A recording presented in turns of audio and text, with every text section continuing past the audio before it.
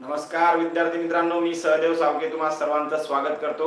Yes जे pharma या YouTube चॅनलमध्ये तसंच आपलं जे ॲप्लिकेशन आहे यस जे फार्मा या ॲप्लिकेशनमध्ये विद्यार्थी मित्रांनो थोडा टेक्निकल काहीतरी नेटवर्कचा प्रॉब्लेम असल्यामुळे थोडंसं एरर होत होता किंवा नेटवर्कमुळे थोडंसं लाईव्ह हे होत होतं. तर आता पुन्हा एकदा आपला हा लाईव्ह या लिंकद्वारे जॉईन करा. सगळे तुमच्या विद्यार्थी मित्रांना सेंड करा. ओके ही लिंक चला फटाफट लवकर जॉईन व्हा. एकच विद्यार्थी सध्या जॉईन झालेला आहे. चला लवकरात लवकर सर्वजण जॉईन जॉईन होऊन जा. म्हणजे आपण आजचे हे लेक्चर विद्यार्थी मित्रांनो सुरू करून द्या good evening good evening good evening आजचं हे व्हिडिओ लेक्चर जे आहे आजचं जे लाईव्ह आहे हे खूप महत्वाचं ठरणार आहे कारण की आज लास्ट लाईव्ह लेक्चर आहे. कारण उद्यापासून विद्यार्थी मित्रांनो सगळे आपापल्या तयारीत लागतील निघण्याच्या तिकीट्स वगैरे बुक करण्याच्या किंवा कोणी ट्रॅव्हलिंगमध्ये राहील किंवा ज्यांचं सेंटर जवळ आहे तर ते निघू शकतात सकाळी सुद्धा. पण ज्यांचं लांब आहे दूर आहे आहे का नाही? तर ते काय करू शकतात? विद्यार्थी मित्रांनो अगोदरच निघू शकतात. त्यामुळं आजचं हे लाईव्ह लेक्चर सर्व विद्यार्थ्यांसाठी खूप महत्वाचं राहील. ओके सगळं सांगतो. आज तुमच्या सगळ्या प्रश्नांची उत्तर तुम्हाला भेटून जातील विद्यार्थ्यांना. त्या अगोदर एकदा सर्व विद्यार्थी मित्र आणि मैत्रिणींनी काय होऊन जा जॉईन होऊन जा लवकरात लवकर. Good evening good evening all of you good evening तुम्हाला बोर्डवरचं व्यवस्थित दिसत आहे का? आणि माझा आवाज तुम्हाला क्लिअर येत आहे का? हे दोन गोष्टी विद्यार्थी मित्रांनो मला एकदा सांगा. रिप्लायमध्ये कमेंट करू. मी सर्व सांगतो माझी स्ट्रॅटेजी वगैरे सगळी सगळी सांगतो काही प्रॉब्लेम नाही. ठीक आहे. ज्यांना दिसत नसेल विद्यार्थी मित्रांनो त्यांनी आपल्या लाईव्हची म्हणजे आपल्या व्हिडिओची क्वालिटी वाढवून घ्या ओके आवाज क्लिअर येत नाहीये. का बरं आवाज क्लिअर येत नाहीये? क्लिअरच बोलत बोलत आहे मी. आवाज क्लिअर येत आहे का? ज्यांना क्लिअर दिसत नाही आहे त्यांनी विद्यार्थी मित्रांनो व्हिडिओची क्वालिटी वाढवा. ओके व्हिडिओची क्वालिटी वाढवल्यानंतर त्यांना सुद्धा दिसून जाईल. हम्म?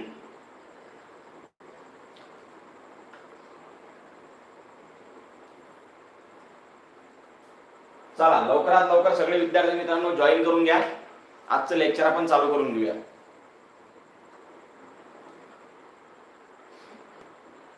उद्या लेक्चर होईल नाही होईल सांगता येत नाही. आज हे शेवटचं लाईव्ह लेक्चर राहणार आहे. मार्गदर्शन पण लेक्चर आज विलाज मोस्ट इम्पॉर्टंट टॉपिक्स काही क्वेश्चन वगैरे आपण घेणार आहोत आजच्या या व्हिडिओ लेक्चरद्वारे आजच्या लाईव्हद्वारे त्यामुळं आजचं हे लाईव्ह लेक्चर शेवटचं राहील. उद्यापासून काही जर नोटिफिकेशन्स असले वगैरे काही जर अपडेट असली तर ती मी आपल्या चॅनलवर देत राहील. त्याबद्दल काही शंका नाही. रेकॉर्डेड व्हिडिओ आपल्या चॅनलवर आपल्या एच जे फार्मा ऍप्लिकेशनवर सुद्धा मी टाकत राहील. सगळ्या गोष्टी करत राहील ओके?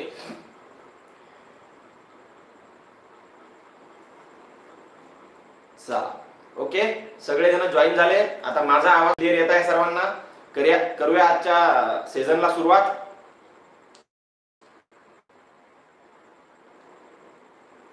करायचं? सुरुवात करायची विद्यार्थी मित्रांनो. आज महत्त्वाच्या महत्त्वाच्या गोष्टी आपण काही डिस्कस करणार आहोत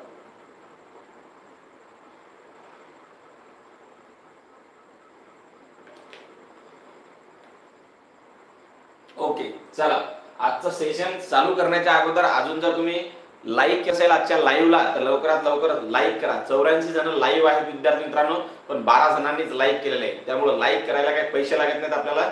लाईक करा. ओके क्लिअर दिसत नसेल त्यांनी आपल्या व्हिडिओची क्वालिटी वाढवा. ओके बघा अजूनही विद्यार्थी लाईक करण्यासाठी पण चिंगूसपणा करतात. अरे करू नका. दिलदार मनाने लाईक करून टाका. टेन्शन घेऊ नका. पैसे लागत नाहीत पैसे कटत नाहीत. ओके फ्री आहे एकदम. चला आता नव्वद ऐंशी एकोणनव्वद ते नव्वद जण जॉईन झाले. तर आता आपण आजचं लेक्चर चालू करूया. ओके बघा विद्यार्थी मित्रांनो सर्वांनाच माहीत आहे अठरा तारखेला आपला पेपर आहे. तर अठरा तारखेला पेपरला टीसीएस न स्ट्रिक्टली सांगितलेलं आहे साडे आठ म्हणजे सकाळची जी बॅच आहे सकाळी सॉरी सकाळची राहणार नाही काही जणांची दुपारी आहे काही जणांची इव्हिनिंगला आहे. ओके तुमचा जो क्लोजिंग टाइम आहे त्या क्लोजिंग टाइमच्या अगोदर तुम्हाला सेंटरवर पोहोचायचं आहे. एकदा जर क्लोजिंग टाइम झाला विद्यार्थ्यांनो तर त्यांना काही नसतं की तुम्ही विद्यार्थी आहात कुठून आलेले आहात काय आलेले आहात. त्यांना काहीही घेणं नाही. ओके त्यांनी क्लोजिंग टाइम संपला की तुम्हाला ते आतमध्ये एंट्री देणार नाहीत असं माझ्या स्वतःच्या भावासोबत झालेलं आहे. ओके इंडियन पोस्टल सर्व्हिसचा पेपर होता. थोडं दहा मिनिटं फक्त त्याला लेट झालं विद्यार्थी मित्रांनो तर त्याला आतमध्ये घेतलं नाही त्यात तो यावर्षी पेपर देऊ शकला नाही. ओके तरी तो मागच्या वर्षी त्यांना हाच पेपर दिला होता जे इंडियन पोस्टचा होता. तर मागच्या वर्षीच्या पेपरमध्ये त्याचं सिलेक्शन झालं. पण टायमिंगमुळं त्याला आतमध्ये घेतलं त्यामुळे तुमचं जे सेंटर असेल लांब असो जवळ असो ते सेंटर अगोदर शोधून ठेवा कोणत्या एरियामध्ये आहे काय आहे आणि त्या सेंटरवर क्लोजिंग टाइमच्या अगोदर पोहोचण्याचा प्रयत्न करा. हा पहिला पॉईंट ओके दुसरी गोष्ट म्हणजे विद्यार्थी मित्रांनो तुमचं हॉल तिकीट तुम्ही प्रिंट केलेलं असावं. कलर कलरमध्ये केलं तर चांगलंच. त्याच्यानंतर तुम्ही जो फोटो म्हणजे तुमचा फोटो आय डी म्हणजे जो फोटो पासपोर्ट तुम्ही विद्यार्थी मित्रांनो फॉर्म भरताना तिथं अपलोड केलेला आहे. म्हणजे आपण एक कॅप्चर फोटो केला आणि एक अपलोड केलेला आहे. तो अपलोड केलेला फोटो जो आहे तर तोच फोटो तुम्हाला तिथं न्यायचा आहे. आता कसं आहे त्यांनी त्या इन्स्ट्रक्शनमध्ये सांगितलं. म्हणून तुम्ही काय करा इन्स्ट्रक्शन स्ट्रिक्टली फॉलो करा. नसेल तर मग काही प्रॉब्लेम नाही. दुसराही घेतला तरी चालते ओके पण तुम्ही जो अपलोड केला तोच फोटो तुम्हाला सोबत ठेवायचा आहे. तुमचं एक आयडेंटिटी कार्ड कोणतं पण ज्याच्यावर तुम्ही फॉर्म भरला त्याच्या सारखं सिमिलर नाव असायला पाहिजे. ओके आता काही जणांची नाव नावामध्ये स्पेलिंग मिस्टेक्स आहेत. तर आता त्याला इथं काही ऑप्शन नाही. त्यांनी जर अलाव केलं तर अलाव करतील. पण त्यांनी हे सुद्धा दिलेलं आहे इन्स्ट्रक्शनमध्ये की जर स्ट्रिक्टली तुमचं नाव म्हणजे अर्जामध्ये तुम्ही जे नाव टाकलेलं आहे स्ट्रिक्टली तुमचं नाव मॅच झालं पाहिजे. आता मॅच झालं पाहिजे म्हणजे स्पेलिंग मिस्टेक्स वगैरे असलं तर चालेल असं मला वाटतं. पण जर नसेल काही विद्यार्थ्यांचं तर त्यांनी काहीतरी ऍफिडेव्हिट वगैरे काहीतरी त्यांच्याकडे असायला पाहिजे. तसं ते मला वाटत नाही की म्हणजे अलाव करणार नाहीत म्हणून करतीलच. पण डायरेक्ट जर नावच चेंज असेल ओके म्हणजे फॉर एक्झाम्पल विद्यार्थी मित्रांनो जर लेडीज असतील त्यांचं मॅरेज अगोदरचं नाव आणि नंतरचं नाव वेगळं असतं ना त्याच्यामुळे त्यांच्याकडे मॅरेज सर्टिफिकेट म्हणजे काहीतरी प्रूफ पाहिजे असते. ओके की त्यांचं नाव बदललं म्हणून. तर अलो करतील नाही तर अलो करणार नाहीत. आधार कार्डवर तुमचं लग्नानंतरचं जर नाव असेल आणि पेपर अर्जामध्ये तुम्ही लग्ना अगोदरचं जर नाव टाकलेलं असेल तर ते प्रॉब्लेम येऊ शकतो. त्यामुळे मॅरेज सर्टिफिकेट सुद्धा तुमच्या जवळ ठेवा. ओके बाकी काही कंपल्सरी नाही. एखादा काळा पेन किंवा ब्ल्यू पेन तुमच्याकडे असायला पाहिजे. आता तुम्ही म्हणसाल सर पेपर तर ऑनलाईन आहे.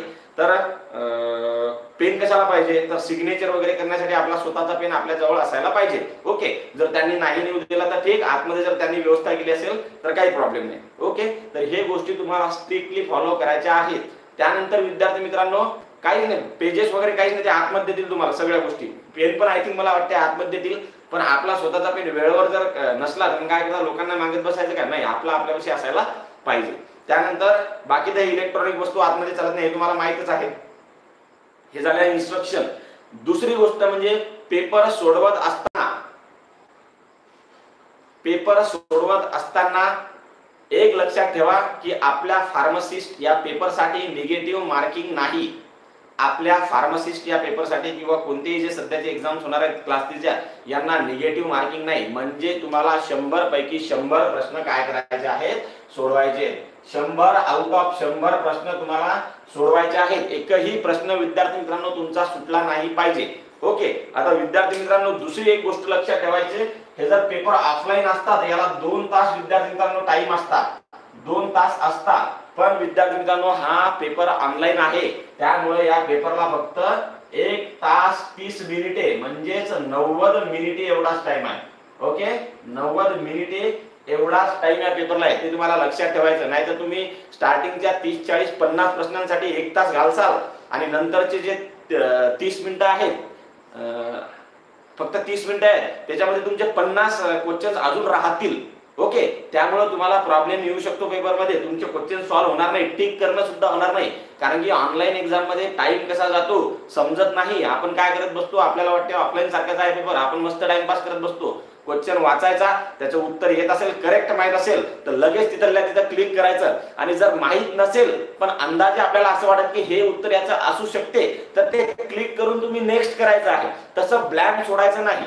ओके कारण की काय आहे? नंतर जर समोर टाइमिंग नाही राहिला कदाचित तर आपल्याला माग क्वेश्चन पाहावं लागेल की कोणता कारण की पाहावं लागेल की कोणता ब्लँक सोडला मग ते पाहण्यात सुद्धा आपला टाइम जाईल. त्यामुळं जे अंदाजे आपल्याला क्वेश्चन वाटू शकतं की बाबा या दोन पैकी एक आहे. चार पैकी समजा दोन तर आपण नाही असं काटू शकतो.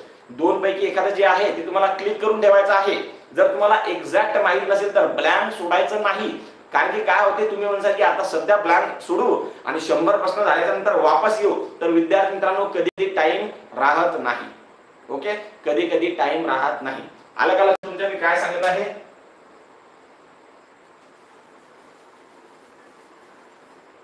तुमच्या लक्षात आलं का? असं खूप वेळा होतं. माझा स्वतःच असं झालं तेव्हा ऑफलाईन पेपर होता. मी शंभर पैकी फक्त नव्याण्णव प्रश्न सोडवले. एक प्रश्न माझा सुद्धा असाच चुकीनं काय झाला? सुटला होता. कारण की मला वाटलं हा क्वेश्चन मागे राहू देऊ आणि नंतर आपले शंभर क्वेश्चन झाल्याच्यानंतर रिपीट येऊन या क्वेश्चनवर विचार करू आणि आपण आपलं राईट आन्सर लिहू. पण माझा तो क्वेश्चन सुटून गेला. शंभर पैकी फक्त नव्याण्णवच क्वेश्चन मी सोडवले होते. ओके तर असं कधी कधी होतं. मग आता कधी कधी आपल्याला काही क्वेश्चनचे आन्सर्स काय होतात? कन्फ्युजिंग असतात. आपल्याला वाटतं की या दोन पैकी एक असेल. आपण काय करतो? म्हणजे चार पैकी एक कोणताही आपल्याला नक्की माहीत नसतं पण कन्फ्युज असतं की या दोन्ही पैकी असू शकते. मग आपण कधी कधी काय करतो तो क्वेश्चन तसाच ब्लँक सोडतो आणि समोर जातो. समोर जाऊन आपल्याला एवढा टाइम लागतो की या क्वेश्चनला रिपीट पाहण्यासाठी सुद्धा आपल्याकडे टाइम येत नाही. कारण की याच्यामधलेच आपले म्हणजे शेवटच्या पाच दहा मिनिटांमधले याच्यातले सोडवायचे राहतात शंभर पैकी म्हणजे त्यामुळे मागे येणं होईल का? नाही. त्याच्यामुळं त्या दोन पैकी जे कन्फ्युजिंग आन्सर्स असतील दोन दोन पैकी एक तुम्हाला जे वाटत असेल त्या दोन पैकी एक आत्ताच क्लिक करून ठेवा. आणि जर टाइम भेटला तर मग डबल रिव्ह्यू करण्यासाठी तुम्ही वापस या की या दोन पैकी कोणतं असेल. पण ब्लँक सोडू नका. ओके हे माझं मत आहे. शेवटी तुम्हाला पेपर सोडवायचा आहे. तुमची स्ट्रॅटेजी तुम्ही यूज करू शकता. ओके इथपर्यंत समजलं? त्यानंतर शंभर पैकी शंभर प्रश्न सोडवायचे आहे निगेटिव्ह मार्किंग नाही त्यामुळे शंभर टक्के प्रश्न सोडवायचे आहे ओके नक्कीच नक्कीच. पेपर झाल्यावर मी कॉन्टॅक्टमध्ये राहणार. शंभर टक्के काही प्रश्नच नाही. आपलं चॅनलच त्याच्यासाठी आहे. चला आता तुमचे काही पेपरबद्दल जर प्रश्न असतील विद्यार्थी मित्रांनो तर मला विचारा की अजून तुम्हाला काही पेपर सोडवण्याबद्दल काही जर कल्पना म्हणजे काही जर प्रॉब्लेम असतील तर तुम्ही मला विचारू शकता. नंतर आपण थोडस काहीतरी हे घेऊया अजून काही तुमचे पॉइंट असतील का? तर तुम्ही विचारू शकता. लगेच आपण थोडस काय करू रिवाइज करू. ठीक आहे? यानंतर सुद्धा ऍडव्हर्टाईज येणार आहेत. हे ऍडव्हर्टाइजमेंट चांगले येणार आहेत. दोन दोन ऍडव्हर्टाइजमेंट येऊ शकतात. त्याच्यानंतर आता काय माहीत गव्हर्नमेंट चेंज वगैरे झाल्याच्यानंतर कधी ऍडव्हर्टाइजमेंट येईल की येणार नाही काय कॉन्ट्रॅक्टवरच भरतील का काय. पण आता परमनंटच्या दोन ऍडव्हर्टाइजमेंट अजून येण्याचे हंड्रेड पर्सेंट चान्सेस आहेत. आणि ते म्हणजे विद्यार्थी मित्रांनो एक जिल्हा परिषदची म्हणजे रुरल डेव्हलपमेंट डिपार्टमेंट डिपार्टमेंटची आणि एक म्हणजे स्टेट गव्हर्नमेंटची आपल्या डीएचएसची ओके तर हे दोन ऍडव्हर्टाइजमेंट आपल्याला अजून येऊ शकतात. एक जुलै महिन्यात येण्याचे चान्सेस आहेत झेडपीचे आणि जी आरोग्य खात्याची आहे म्हणजे डीएचएस ची ती त्याच्यापेक्षा नंतर येऊ शकते.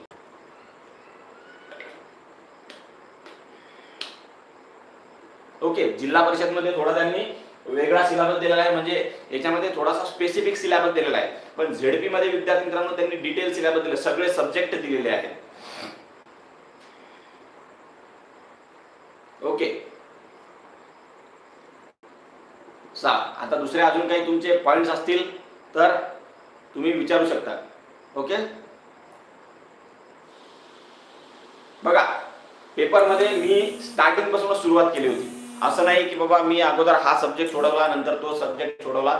फक्त एक स्टार्टिंगच्या दोन मिनिटात एकदा पेपरवर ओव्हरलुक केलं होतं की बाबा पेपर कशा प्रकारचे काठिण्य लेवल कशी आहे?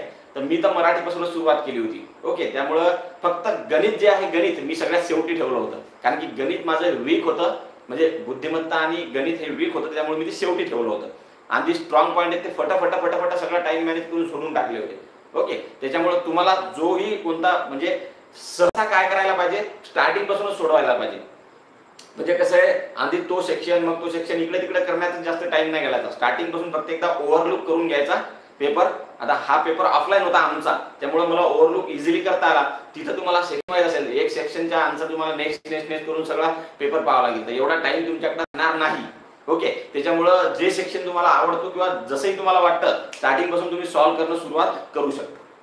ओके हा सगळ्यात महत्वाचं म्हणजे विद्यार्थी मित्रांनो फार्माकोलॉजी अजून जर तुम्ही रिवाईज केले नसेल तर रिवाईज करून घ्या. कारण की फार्माकोलॉजीवर सगळ्यात जास्त प्रश्न येण्याचे चान्सेस आहेत. कारण की सगळ्यात जास्त सिलेबस जो दिला डीएमईआरने तर तो दिलेला आहे फार्माकोलॉजीचा त्याच्यामुळे फार्माकोलॉजीचे क्लासिफिकेशन क्लासेसचे एक्झाम्पल्स मॅक्झिमम विचारण्यात येतील. त्याच्यानंतर युजेस कोणता ड्रग हा कोणत्या कॅटेगरीचा आहे? क्लासिफिकेशन मधला तर कॅटेगरी विचारतील पण एखादा चार एक्झाम्पल विचारतील आणि तो कोणत्या क्लासचा ड्रग आहे? म्हणजे अँटी हायपरटेन्सिव्ह आहे की अँटी डायबेटिक आहे? आलं लक्षात? त्याच्यानंतर क्लासिफिकेशन मधले क्लासेस चार क्लासेस दिले जातील. समजा कॉक्स इनिबिटर आहे की नॉन सिलेक्टिव्ह कॉक्स इनिबिटर आहे की कॉक्स टू इनिबिटर आहे की ऍसिटिल म्हणजे प्रोपियोनिक ऍसिड डेरिव्हेटिव्ह आहे की ऑक्सिकॅन डेरिव्हेटिव्ह आहे? अशा प्रकारचे प्रश्न ते विचारणार त्यात काही शंकाच नाही. त्याच्यानंतर uses contraindication side effects okay? काही ड्रगचे route of administration special route of drug administration असेल तर त्यानंतर drug of choice okay?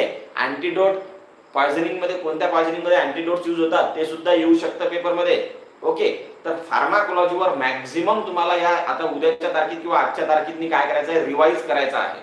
Okay बाकीचे खाली काही पॉईंट दिलेले आहेत जी चे वगैरे मला म्हणजे राईट टू इन्फॉर्मेशन ऍक्ट वगैरे इन्फॉर्मेशन टेक्नॉलॉजी वगैरे ते इझिली समजा तुम्ही कधी कधी काय ऑप्शन बदलून सुद्धा सॉल्व्ह करू शकता. पण या क्लासिफिकेशन बेसिसवर तुम्हाला एक्झॅक्ट एक्झाम्पल पाठच पाहिजे त्याच्यामुळे तो प्रश्न चुकलाच नाही पाहिजे. कधी कधी तर एक्झाम्पलचे नाव सुद्धा सारखे असतात विद्यार्थी मित्रांनो. आहे की नाही?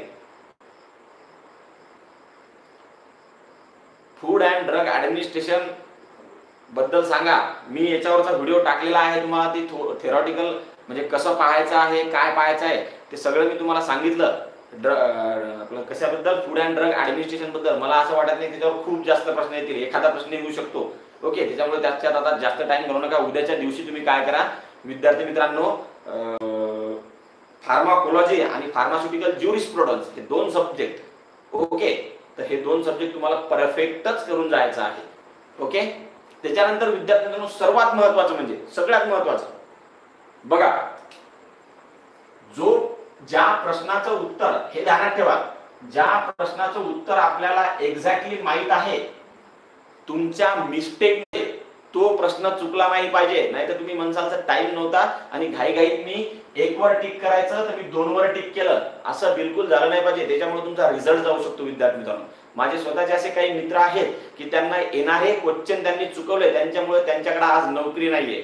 ओके? म्हणजे फॉर एक्झाम्पल हे एक दोन तीन आणि चार असे चार ऑप्शन आहेत. आणि तुम्हाला माहीत आहे की फार्मसी ऍक्ट हा एकोणीसशे अठ्ठ्याण्णवमध्ये काय झाला इनेक्टेड झाला अठ्ठ्याण्णवमध्ये पास झाला एकोणीसशे अठ्ठ्याण्णव इथं दिलेलं आहे एकोणीसशे नव्याण्णव इथं दिलेलं आहे एकोणीसशे सत्त्याण्णव दिलेलं आहे आणि एकोणीसशे शहाण्णव दिलेलं आहे. ओके आणि तुम्ही विद्यार्थी मित्रांनो घाई घाई किंवा तुमचा प्रॉब्लेम किंवा काही असो तुम्ही सिली मिस्टेक केली आणि तुम्ही एकोणीसशे अठ्ठ्याण्णवचा sorry sorry sorry sorry sorry एकोणीसशे अठ्ठ्याण्णव nineteen forty eight forty eight आता ही कधी माझी मिस्टेक झाली ते. Nineteen forty eight nineteen forty nine nineteen forty seven आणि नाईन्टीन फोर्टी सिक्स असे चार ऑप्शन आहेत. आणि तुमची तुम्ही तुमच्या सिली मिस्टेक मुळे काय केलं? नाईन्टीन फोर्टी एट करायचं विद्यार्थी मित्रांनो. तर तुम्ही काय केलं? नाईन्टीन फोर्टी नाईन वर टिक केलं. म्हणजे तुम्हाला माहीत आहे आणि तुम्हाला असं वाटत सुद्धा आहे की विद्यार्थी मित्रांनो तुम्ही एकोणीसशे अठ्ठेचाळीस लिहिलं पण सिली मिस्टेक मुळे तुमचं लक्ष नसल्यामुळे किंवा घाई घाई मध्ये तुम्ही त्याच्यावर कम्प्युटरवर टिक करताना एच्या जागी बीच आन्सर टिक केला. असं खूप विद्यार्थ्यांचं होतं. खूप विद्यार्थ्यांचं होतं. म्हणजे विद्यार्थी मित्रांनो तुम्हाला तुमचा जो पेपर आहे ना तो झिरो मिस्टेक न सोडवायचा आहे. ओके झिरो मिस्टेक न सोडवायचा आहे. एकही मिस्टेक तुम्हाला झालेला पाहिजे. जे उत्तर तुम्हाला एक्झॅक्ट माहीत आहे. ओके आता विद्यार्थी मित्रांनो ज्या प्रश्नाचं उत्तर तुम्हाला येत नाही तो चुकला तर चालेल. पण जो येतो तो तर बिलकुलच चुकला नाही पाहिजे. तो जर चुकला तर तुमचा रिझल्ट गेला. शंभर टक्के गेला. जो प्रश्न तुम्हाला येतो तो प्रश्न जर तुम्ही चुकवला येत असून तर तुमचा रिझल्ट गेला असं समजून घ्या. कारण की असे खूप विद्यार्थी आहेत की ते मिस्टेक करत नाहीत. आणि तुमची एक मिस्टेक तुम्हाला नोकरीपासून दूर घेऊन जाऊ शकते. हे मी स्वतः उदाहरण पाहिलेलं आहे. माझा एक मित्र आहे पोलीस भरतीमध्ये स्वतः कटला. याच गोष्टीमुळं याच गोष्टीमुळं कशामुळं? त्यानं स्वतःला येणार येणारे क्वेश्चन्स तीन चार त्यानं चुकवले. घाई घाईत त्यानं लक्ष दिलं नाही किंवा त्यानं पहिलंच ऑप्शन वाचलं. आणि शेवटचं म्हणजे वाचलेच नाही तर कधी कधी काय विचारतात की बाबा which of the following is not example of tocolytic for example की which of the following drug is not example of oxytocic not is a not शब्द वापरायला असतो. आपण कधी कधी काही विद्यार्थी मित्रांनो आपल्याला टोकोलायटिक किंवा ते क्लासचा ड्रग दिसला की लगेच खालील पैकी एक काय करतो आपण? विद्यार्थी मित्रांनो हे करतो. टिक करून देतो. तसं नाही. पूर्ण प्रश्न वाचायचा तेव्हाच त्या प्रश्नाचा खालील मधलं उत्तर तुम्हाला टिक करायचं. आणि हे चुका मला माहीत आहे खूप विद्यार्थी करतात. हे तुम्हाला लक्षातच ठेवायचंय. झिरो मिस्टेक झिरो मिस्टेक जर तुमची झाली तर टेन्शन नाही. चला ओके त्याच्यानंतर काही तुम्हाला अडचणी आहेत का? पेपरबद्दल? एवढ्या गोष्टी तुम्हाला लक्षात ठेवायच्या आहेत म्हणजे आहेतच. ठीक आहे?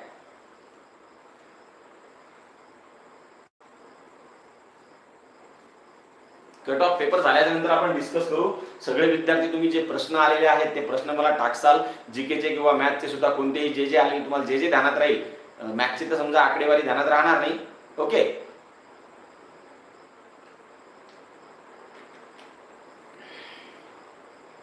चला आता हा टाइमपास बस झाला. आता तुम्हाला जे व्यवस्थित गोष्टी सांगायच्या होत्या ते मी सांगितल्या. आता आपण थोडं काय करूयात? काही महत्त्वाचे जे प्रश्न आहेत ते डिस्कस करूया. प्रश्न म्हणजेच काय विद्यार्थी मित्रांनो? आपला जो नाईन्टीन फोर्टीचा ऍक्ट आहे कोणता? ड्रग आणि कॉस्मेटिक ऍक्ट कारण की पीजे मधले दोनच ऍक्ट आहेत. याच्यावर पाच सात तर क्वेश्चन शंभर टक्के असणार आहेत. पाच सहा क्वेश्चन तर शंभर टक्के असणार आहेत. फार्मसी ऍक्ट आणि ड्रग अँड कॉस्मेटिक ऍक्ट मिळून. असं माझं म्हणणं आहे. पाच सहा तर क्वेश्चन शंभर टक्के शंभर टक्के. पाच क्वेश्चन सहा क्वेश्चन तर शंभर टक्के राहतीलच असं मला वाटत आहे. ठीक आहे? सगळ्यात महत्वाचं म्हणजे विद्यार्थी मित्रांनो काल आपण जे फार्मसी ऍक्ट आहे त्याच्याबद्दल सगळी माहिती घेतली किंवा शिकलो आपण. आज आपण विद्यार्थी मित्रांनो जो ड्रग अँड कॉस्मेटिक ऍक्ट आहे तर त्या ड्रग अँड कॉस्मेटिक ऍक्टबद्दल आपण काय करणार आहोत माहिती बघणार आहोत. सगळ्यात महत्त्वाचा बेसिक क्वेश्चन कोणता? ड्रग अँड कॉस्मेटिक ऍक्ट का बरं पास झाला? का बरं पास झाला? कारण की ऑब्जेक्टिव्ह ना? ड्रग अँड कॉस्मेटिक ऍक्ट का बरं पास झाला?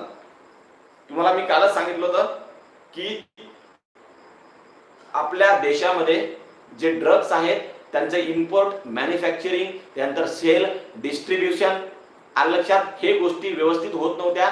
याच्यामध्ये खूप मिस्टेक्स होत्या किंवा खूप म्हणजे चांगल्या क्वालिटीचे ड्रग्स म्हणजे ॲडल्ट्रेट ड्रग त्यानंतर spurious drug misbranded drug हे आपल्या देशांमधून इम्पोर्ट एक्सपोर्ट केल्या जात होते.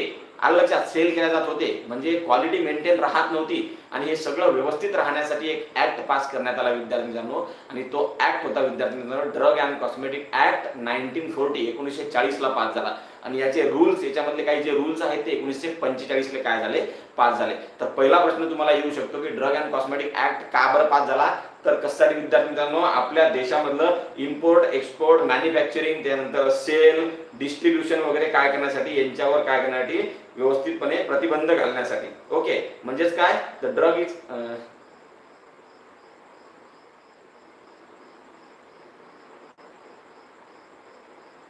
to regulate the import manufacturing sale and distribution of काय? तर ड्रग्स याच्यासाठी हा ऍक्ट पास करण्यात आला. मग हा पास कधी झाला? दुसरा प्रश्न तर एकोणीसशे चाळीसमध्ये पास झाला. ओके अजून एक प्रश्न येऊ शकतो की ड्रग बिल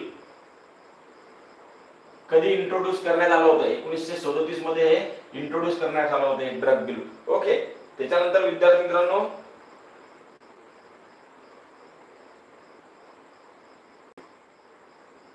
आणि मला वाटतं एकोणीसशे सदोतीसमध्ये हे विड्रॉ सुद्धा केला गेला होता. याच्यावर खूप क्रिटिसिझम झालं होतं. ओके त्याच्यानंतर विद्यार्थी मित्रांनो हा जो ऍक्ट आहे डी अँड सी ऍक्ट तर हा एकोणीसशे चाळीसमध्ये पास झाला. मी प्रश्न सांगणार आहे. तुम्ही सुद्धा मला सांगू शकता. कधी पास झाला? तर एकोणीसशे चाळीसमध्ये. याचे रूल्स कधी पास झाले विद्यार्थी मित्रांनो? एकोणीसशे पंचेचाळीसमध्ये. ओके हे तुम्हाला काय करायचंय? लक्षात ठेवायचं आहे. समजत आहे तुम्हाला इथपर्यंत? त्यानंतर विद्यार्थी मित्रांनो हे तुम्हाला विचारू शकतात की ड्रग अँड कॉस्मेटिक ऍक्टमध्ये किंवा ऍक्टला किती शेड्यूल्स आहे? तर तुम्हाला हे ध्यानात ठेवायचं आहे काय? हे आपण डिस्कस केलेले पण शॉर्टली आपण पूर्ण चॅप्टर डिस्कस करणार आहे. ओके बघा. डी अँड सी ऍक्टला विद्यार्थी मित्रांनो दोन शेड्यूल आहेत. किती? दोन शेड्यूल. ओके याच्यामध्ये जो फर्स्ट शेड्यूल आहे विद्यार्थी मित्रांनो तो कशाबद्दल आहे? आणि सेकंड शेड्यूल कशाबद्दल आहे? हे पेपरमध्ये शंभर टक्के विचारू शकतात आणि लेकर चुकवतात. हा प्रश्न चुकवतात. लेकर हा प्रश्न चुकवतात. बघा जो पहिला शेड्यूल आहे विद्यार्थी मित्रांनो तर तो कशासाठी आहे?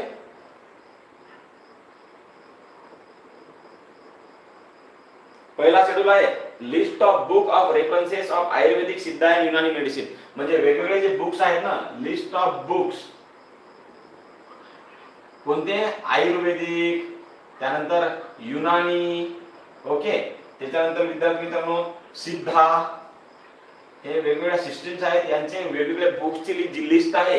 तर ती या फर्स्ट शेड्यूल मध्ये दिलेली आहे. आणि सेकंड शेड्यूल मध्ये विद्यार्थ्यांनो it comprises of the standard to be complied with for imported drug manufacturing drug sale their stocking and storage म्हणजे विद्यार्थी मित्रांनो जे drug import sale distribute manufacture केले जातात त्यांनी त्यांचं स्टँडर्ड कंप्लाइंट करायला पाहिजे. त्याच्या कोणाच्या अगेन्स्ट स्टँडर्ड इथं काहीतरी दिले असतील त्याच्या अगेन्स्ट तर याची याच्याबद्दल माहिती ही सेकंड शेड्यूल मध्ये का नाही? म्हणजे standard to be complied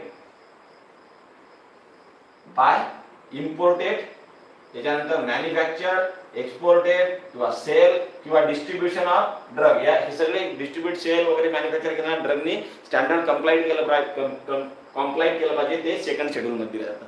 okay हा प्रश्न पेपरमध्ये येतो लेकर चुकवतात. हा पेपर प्रश्न येतो. पेपरमध्ये प्रश्न पेपरमध्ये येतो लेकर चुकवतात. ओके त्याच्यानंतर विद्यार्थी मित्रांनो आता आपण शेड्यूल डिस्कस करणार आहोत. शेड्यूल काय? शेड्यूल फटाफट तुम्ही काय करू शकता? रिव्हिजन हे बा शेड्यूल सुद्धा कन्फ्यूज होतं पेपरमध्ये कधी कधी शेड्यूल सुद्धा पेपरमध्ये कन्फ्यूज होतात. त्याच्यामुळे आता आपण फास्टली काय करणार आहोत विद्यार्थी मित्रांनो? त्याच्यामुळे आपण काय करणार? फास्टमध्ये काय घेणार आहोत? शेड्यूलचं रिव्हिजन घेणार आहोत. चला सांगा शेड्यूल ए कशासाठी आहे. आता हे जे शेड्यूल असतात ना schedule to the rules schedule to the act विचारलं तर आणि शेड्यूल टू द रूल्स जर विचारलं तर त्याचा आकडा विचारत नाही तुम्हाला पण कोणता शेड्यूल कशासाठी आहे त्याच्यामध्ये काय आहे हे विचारतात. ओके तर शेड्यूल ए कशासाठी तुम्ही सांगू शकता मला. चला. शेड्यूल ए कशासाठी आहे. विद्यार्थी मित्रांनो सांगा पटकन. शेड्यूल ए कशासाठी आहे. वेगवेगळे फॉर्म म्हणजेच काय? आपल्याला जर कोणतं लायसन्स काढायचं असेल कोणत्या लायसन्ससाठी अप्लाय करायचं असेल कोणतं लायसन रिन्यू करायचं असेल तर कोणत्यासाठी म्हणजे सेल करायचं असेल तर कोणता फॉर्म लागेल ते? लायसन अप्लाय करण्यासाठी किंवा रिन्यू करण्यासाठी कोणता फॉर्म लागणार? मग रिन्यू केलेलं जे सर्टिफिकेट आहे ते कोणत्या फॉर्ममध्ये भेटेल? या सगळ्याबद्दलची माहिती विद्यार्थ्यांना शेड्यूल ए मध्ये दिलेली असते. कशामध्ये? शेड्यूल ए मध्ये. ओके त्याच्यानंतर विद्यार्थ्यांनो शेड्यूल बी जे आहे बी या शेड्यूल बी मध्ये काय आहे? सांगा पटकन. शेड्यूल बी मध्ये काय? शेड्यूल बी मध्ये काय आहे? Rate of fee charge for analysis by CDL or state drug laboratory मी तुम्हाला सांगितलं होतं की स्टेट ड्रग लॅबोरेटरीमध्ये जर आपल्या राज्यातून काही जर आपल्याला ड्रग म्हणजे कोण आपल्या ड्रग इन्स्पेक्टरने जर एखादा ड्रग सीज केला कोणत्या मेडिकल मधला मॅन्युफॅक्चरिंग युनिटला तर तो स्टेट ड्रग लॅबोरेटरीला जातो किंवा मग तो सेंट्रल ड्रग लॅबोरेटरीला पाठवला जातो.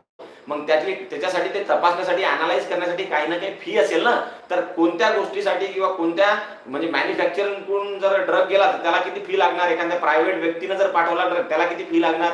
रिटेलर मधून जर पाठवला एखाद्या मेडिकल मधून त्याला किती फी लागणार? याबद्दलची सगळी माहिती जी कोणत्या शेड्यूल मध्ये दिलेली असते तर तो असतो शेड्यूल बी कोणता? शेड्यूल बी सॉरी हा. लिस्ट ऑफ फॉर्म त्यानंतर रेट ऑफ फीज ओके त्याच्यानंतर विद्यार्थी मित्रांनो मला सांगा शेड्यूल सी मध्ये काय असते शेड्यूल सी मध्ये काय असते list of biological and other special product govern by the special provisions याच्यामध्ये विद्यार्थी मित्रांनो वेगवेगळे बायोलॉजिकल प्रॉडक्ट्स येतात. आता हे बायोलॉजिकल प्रॉडक्ट्स कोणकोणते आहेत? तर हे तुम्हाला माहीत असायला पाहिजे. Okay list of biological product list of biological and special product. Biological आणि स्पेशल प्रॉडक्ट शेड्यूल सी मध्ये काय असतं? तर list of other special product काय? Other special product list of schedule C वनमध्ये list of other special product आता तुम्ही म्हणसाल जरी त्यांनी दोन्ही याच्यामध्ये स्पेशल प्रॉडक्ट स्पेशल प्रॉडक्ट असं दिलं. तर विद्यार्थी या दोघांमध्ये नेमका फरक काय आहे? तर ते आपण आज बघूया दोघांमध्ये नेमका फरक काय आहे? शेड्यूल सी आणि सी वनमध्ये. पेपरमध्ये तुम्हाला येऊ शकतो ओके? तर या दोघांमध्ये नेमका फरक काय आहे ते बघूया दोन मिनिटं फक्त दोन मिनिटं मला टाइम द्या.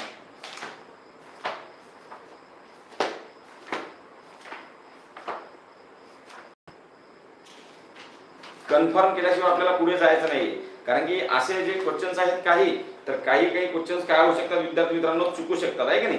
त्याच्यामुळं हे क्वेश्चन कन्फर्म करून घेणं खूप महत्वाचं आहे. दोन मिनिटं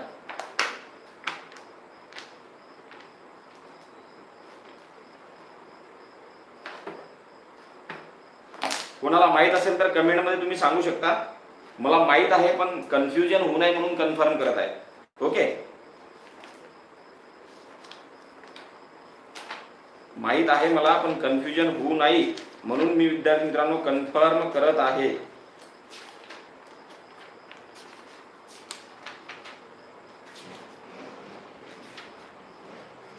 ओके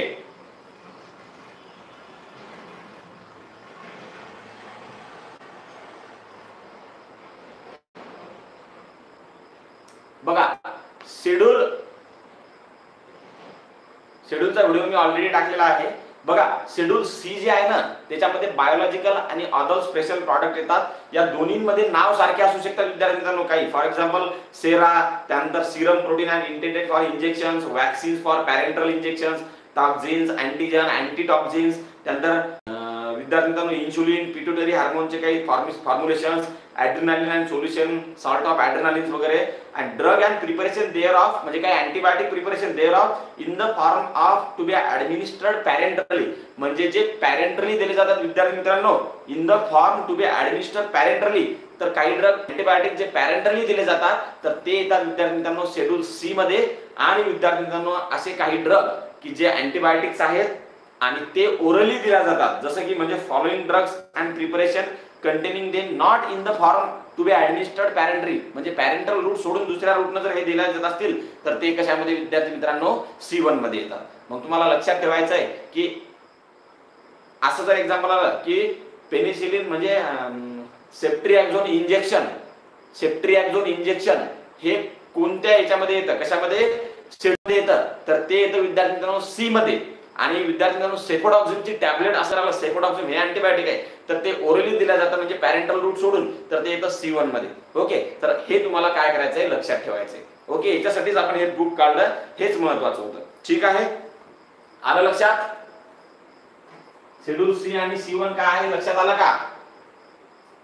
ओके त्याच्यानंतर विद्यार्थी मित्रांनो एक महत्त्वाचा काय आहे? शेड्यूल आहे. तो म्हणजे शेड्यूल एफ कोणता? Schedule F okay?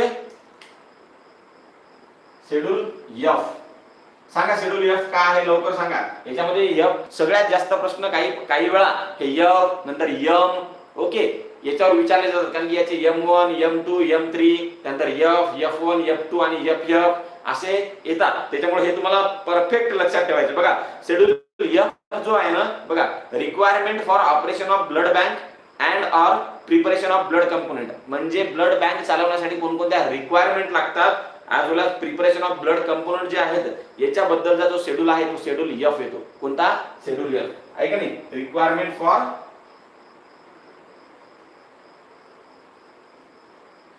Blood bank आहे का नाही? आणि कंपोनंट ऑफ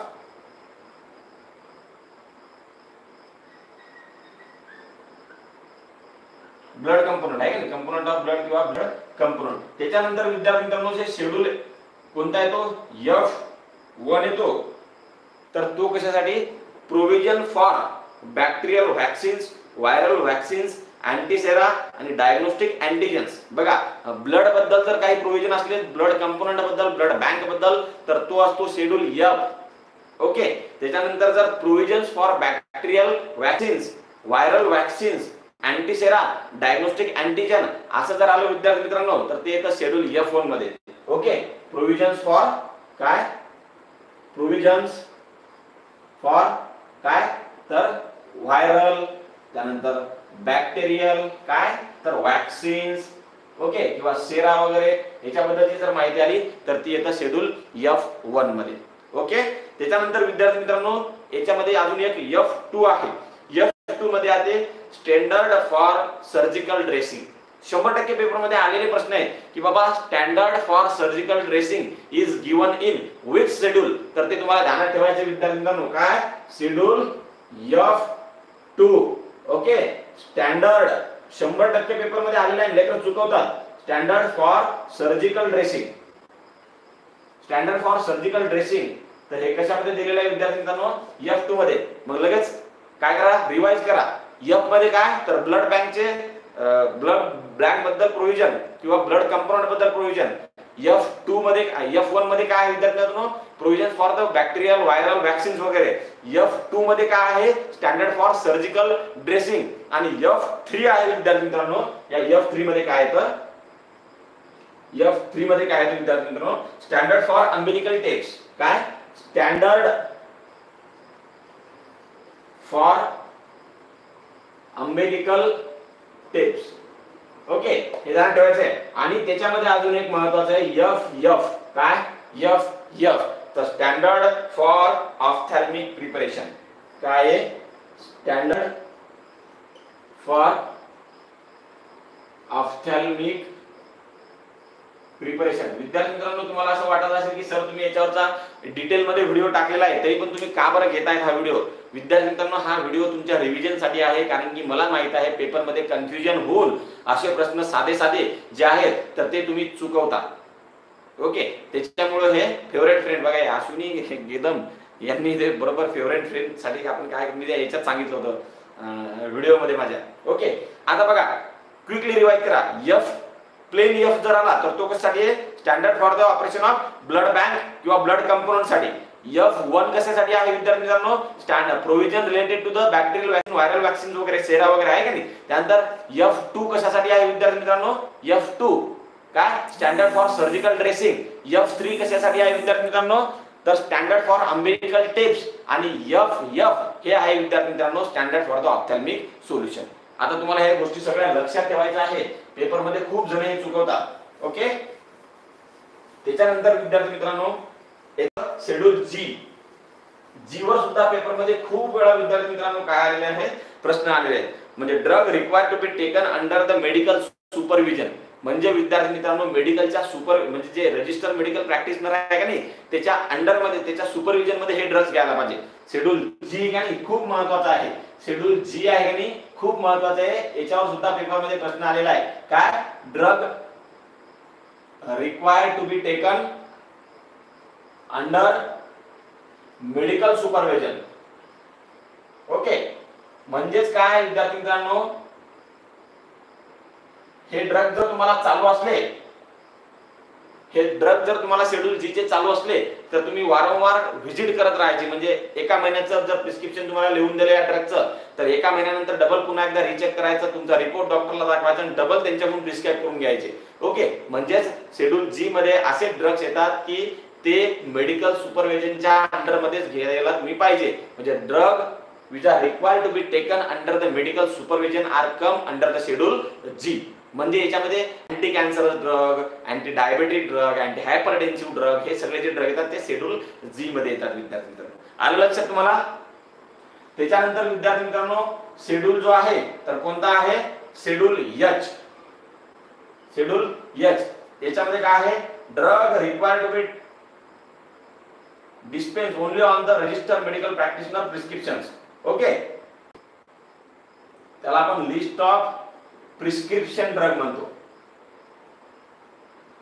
हा सुद्धा प्रश्न पेपरमध्ये आलेला आहे की शेड्यूल एच मध्ये विद्यार्थी मित्रांनो काय तर रजिस्टर मेडिकल प्रॅक्टिशनरनं जर प्रिस्क्राईब करून दिले तरच हे ड्रग द्यायचे.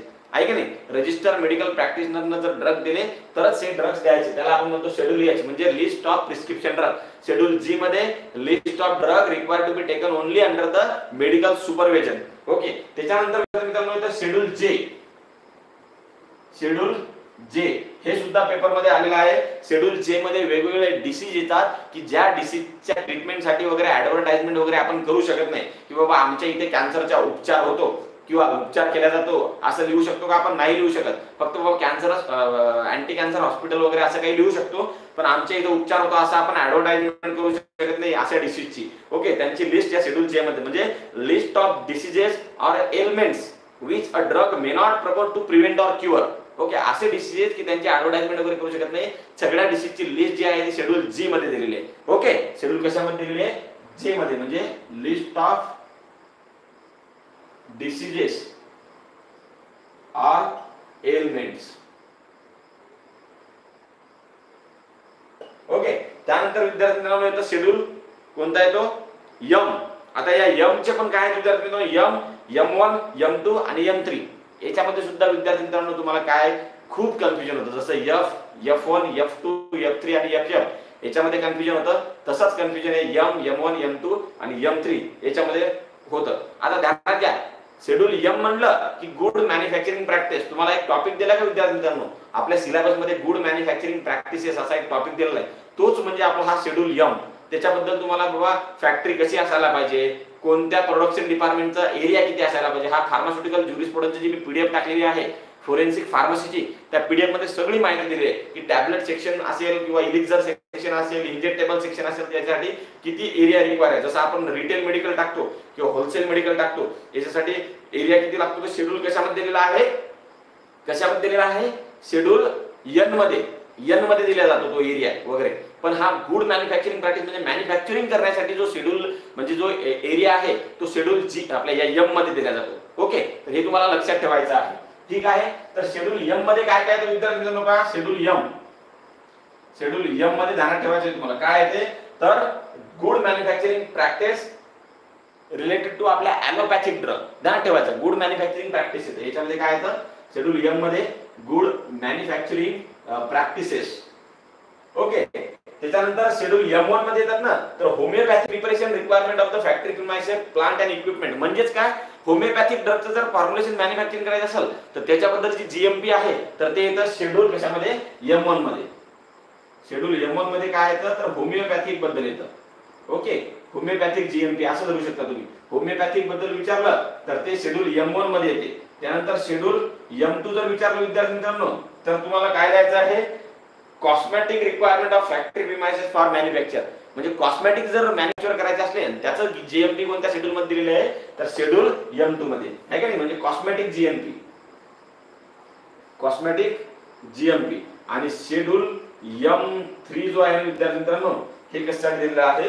तर requirement of factory premises for the manufacturing of medical devices जर कुठे मेडिकल डिव्हायसेस तयार होत असतील तर त्याचं मॅन्युफॅक्चरिंग युनिट कसं असायला पाहिजे? त्याच्या रिक्वायरमेंट आहे.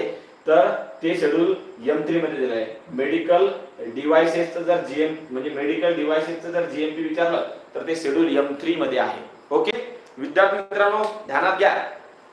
शेड्यूल एममध्ये म्हणजे आपण जे ड्रग खातो ॲलोपॅथिक त्याच्याबद्दल गुड मॅन्युफॅक्चरिंग प्रॅक्टिसेस फक्त शेड्यूल एम विचारलं तर good manufacturing practices M one जर विचारलं तर विद्यार्थी मित्रांनो तुम्हाला homoeopathic good manufacturing practices schedule M two जर विचारलं तर कॉस्मेटिकचं एम टू म्हणलं की कॉस्मेटिकचं आणि एम थ्री जर म्हणलं विद्यार्थी मित्रांनो तर मेडिकल डिव्हाइसचं गुड मॅन्युफॅक्चरिंग प्रॅक्टिसेस याच्यावर पेपरमध्ये प्रश्न येतो. तुम्हाला हे एक्झॅक्टली ध्यानात ठेवण्यासाठीच आजचं हे रिव्हिजनल लेक्चर आहे. कारण की विद्यार्थी मित्रांनो दोन दिवसात पेपर होणार आहे आणि हे जर टॉपिक तुमचा क्लिअर नसेल आणि याच्यावरचे जर प्रश्न जात असतील तर मग काय फायदा? आहे ओके चला. अजून काय राहिलं कंटिन्यू करायचं लेक्चर की कसं करायचं? शेड्यूल संपून टाकायचे का? कंटिन्यू करायचं कसं करायचं?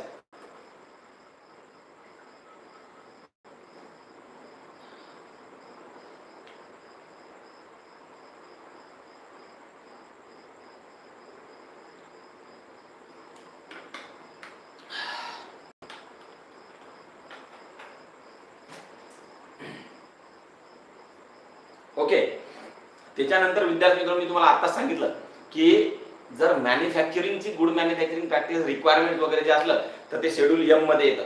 विद्यार्थी मित्रांनो शेड्यूल एन असा शेड्यूल आहे की एखाद्याला जर रिटेल मेडिकल वगैरे टाकायचं असेल तर याचे काय रिक्वायरमेंट असू शकतात तर हे शेड्यूल एनमध्ये दिले असतील खूप इम्पॉर्टंट आहे विचारतात पेपरमध्ये शेड्यूल एन कशाशी संबंधित आहे असा जर प्रश्न तुम्हाला आला विद्यार्थी मित्रांनो the list of minimum requirement of running a pharmacy म्हणजेच मेडिकल चालवण्यासाठी कोणत्या कोणत्या गोष्टी लागतात मिनिमम तेवढ्या असायलाच पाहिजे.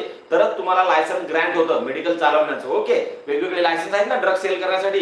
एकोणीस एकोणीस ए एकोणीस बी आहे का वीस ए वीस एकवीस हे लायसन्स आहेत ना हे ग्रँट होतील. मिनिमम रिक्वायरमेंट तुमच्या जर जवळ असतील तर. ओके तर हे येतं शेड्यूल यनमध्ये. म्हणजे minimum requirement to run the काय फार्मसी जर तुम्हाला मेडिकल चालवायचं असेल तर तुम्हाला हे मिनिमम रिक्वायरमेंट असायलाच पाहिजे विद्यार्थ्यांकडून त्याच्यानंतर शेड्यूल ओ पेपरमध्ये आलेलेच आहेत आणि येतातच standard for disinfectant full fluid standard for disinfectant fluid बघा वेगवेगळे डिसइन्फेक्टंट फ्लूड वापरले जातात. हॉस्पिटल वगैरे डिसइन्फेक्ट करण्यासाठी किंवा आपले इन्स्ट्रुमेंट वगैरे डिसइन्फेक्टन करण्यासाठी तर यांचं स्टँडर्ड कसं असायला पाहिजे? या सगळ्याची माहिती विद्यार्थी मित्रांनो या स्टँडर्ड शेड्यूल ओ मध्ये दिलेली आहे. काय? Schedule schedule O gives the standard for the disinfectant fluids त्याच्यानंतर शेड्यूल पी आणि पी वन हे जर म्हटलं तर पिरियड लक्षात ठेवायचं किंवा मग पॅक साईज लक्षात ठेवायचं. ओके शेड्यूल पी जर म्हटलं विद्यार्थी मित्रांनो शेड्यूल पी जर म्हटलं तर लाईफ पिरियड ऑफ ड्रग एखाद्या ड्रगचा लाईफ किती आहे किती दिवस एक्सपायर होत नाही. लाईफ पिरियड ऑफ ड्रग आणि शेड्यूल पी वन जर विचारलं हे विचारतात पेपरमध्ये येतात इथं कन्फ्युज करतात. तर याच्यामध्ये काय विद्यार्थी लाईफ पिरियडमध्ये पॅक साईज ऑफ ड्रग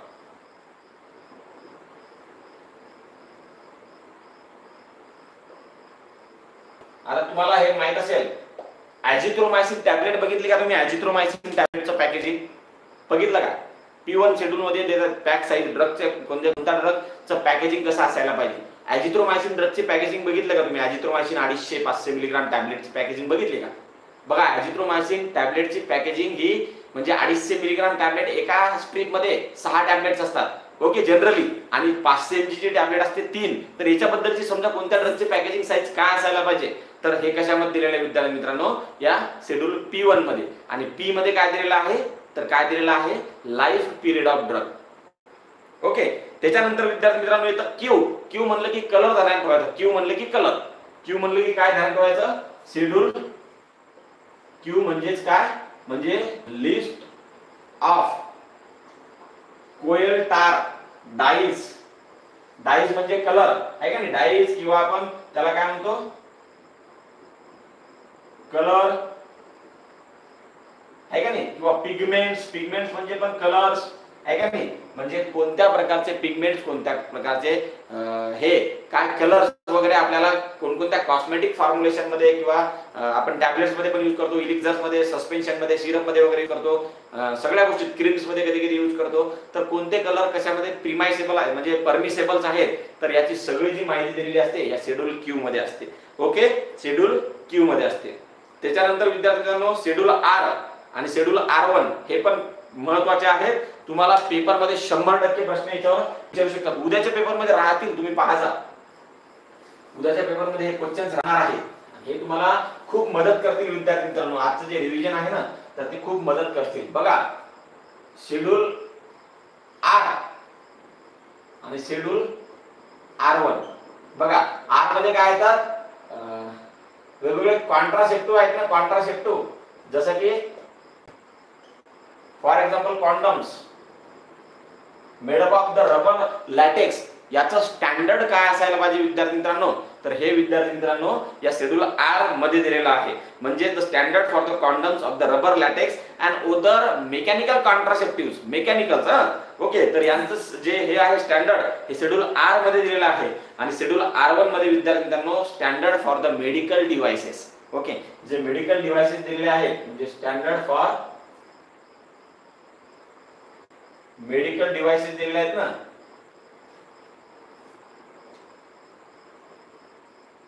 यांचं स्टँडर्ड कशामध्ये दिलेलं आहे विद्यार्थी मित्रांनो या शेड्यूल आर वनमध्ये. ओके शेड्यूल यस म्हटलं विद्यार्थी मित्रांनो यस शेड्यूल यस म्हणजेच काय? तर स्टँडर्ड फॉर कॉस्मेटिक्स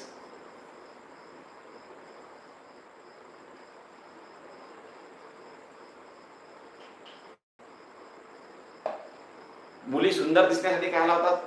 कॉस्मेटिक्स लावतात. यश फॉर सुंदर. ध्यानात ठेवायचं. आणि लक्षात यश फॉर सुंदर दिसण्यासाठी काय लावलं ते कॉस्मेटिक म्हणजे standard for the cosmetic okay schedule T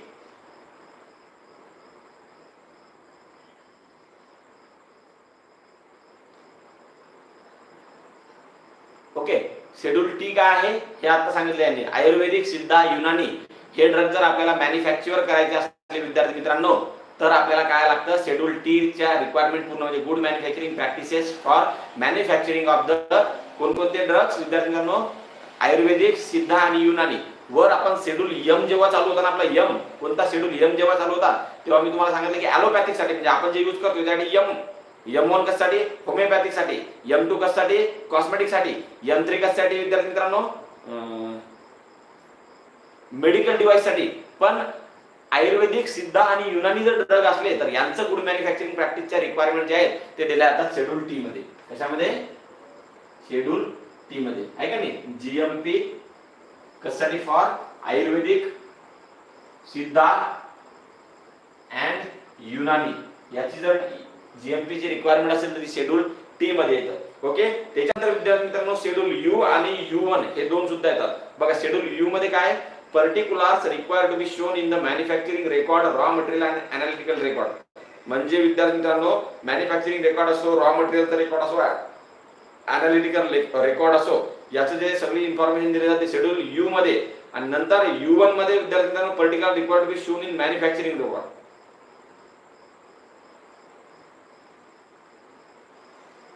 दोन्ही याच्यामध्ये बघा. बघा. Particulars required to be shown in manufacturing record raw material आणि अनालिटिकल रेकॉर्ड हे तिन्ही जर दिलं तर यू आणि फक्त particulars required to be shown in manufacturing record जर दिलं फक्त तर ते शेड्यूल यू वनमध्ये येतं. ओके शेड्यूल बी मध्ये विद्यार्थ्यांना standard for patent and proprietary medicine पेपरमध्ये येतं. स्टँडर्ड फॉर पेपर काय? Standard for patent and proprietary medicine हे जर विचारलं तुम्हाला तर शेड्यूल बी मध्ये येतं. म्हणजे विटामिन्स वगैरे असतात ना वेगवेगळे न्यूट्रास्युटिकल वगैरे तर हे standard for the patent and proprietary मेडिसिनमध्ये त्यानंतर शेड्यूल एक्समध्ये सायकोट्रॉपिक सबस्टन्स सगळ्यांनाच माहिती शेड्यूल एक्स म्हणजे सायकोट्रॉपिक सबस्टन्स त्यानंतर शेड्यूल वायमध्ये विद्यार्थ्यांनो requirement and guidelines on the clinical trials for import and manufacturing of new drug म्हणजे क्लिनिकल ट्रायल्सबद्दल जर माहिती असली तर ती कोणत्या शेड्यूल मध्ये वायमध्ये. आणि शेड्यूल डब्ल्यू मध्ये काय आहे? जेनेरिक नेम्स वगैरे येतात. ओके तर हे तुम्हाला माहीत असायला पाहिजे. इथपर्यंत तुम्हाला कळालं का?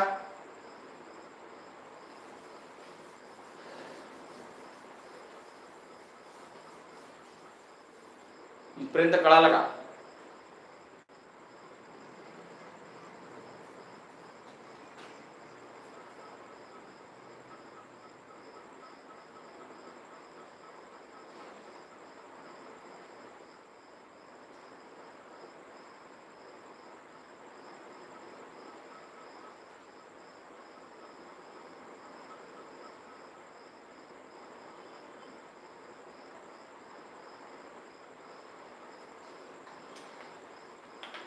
ठीक आहे एक घंटा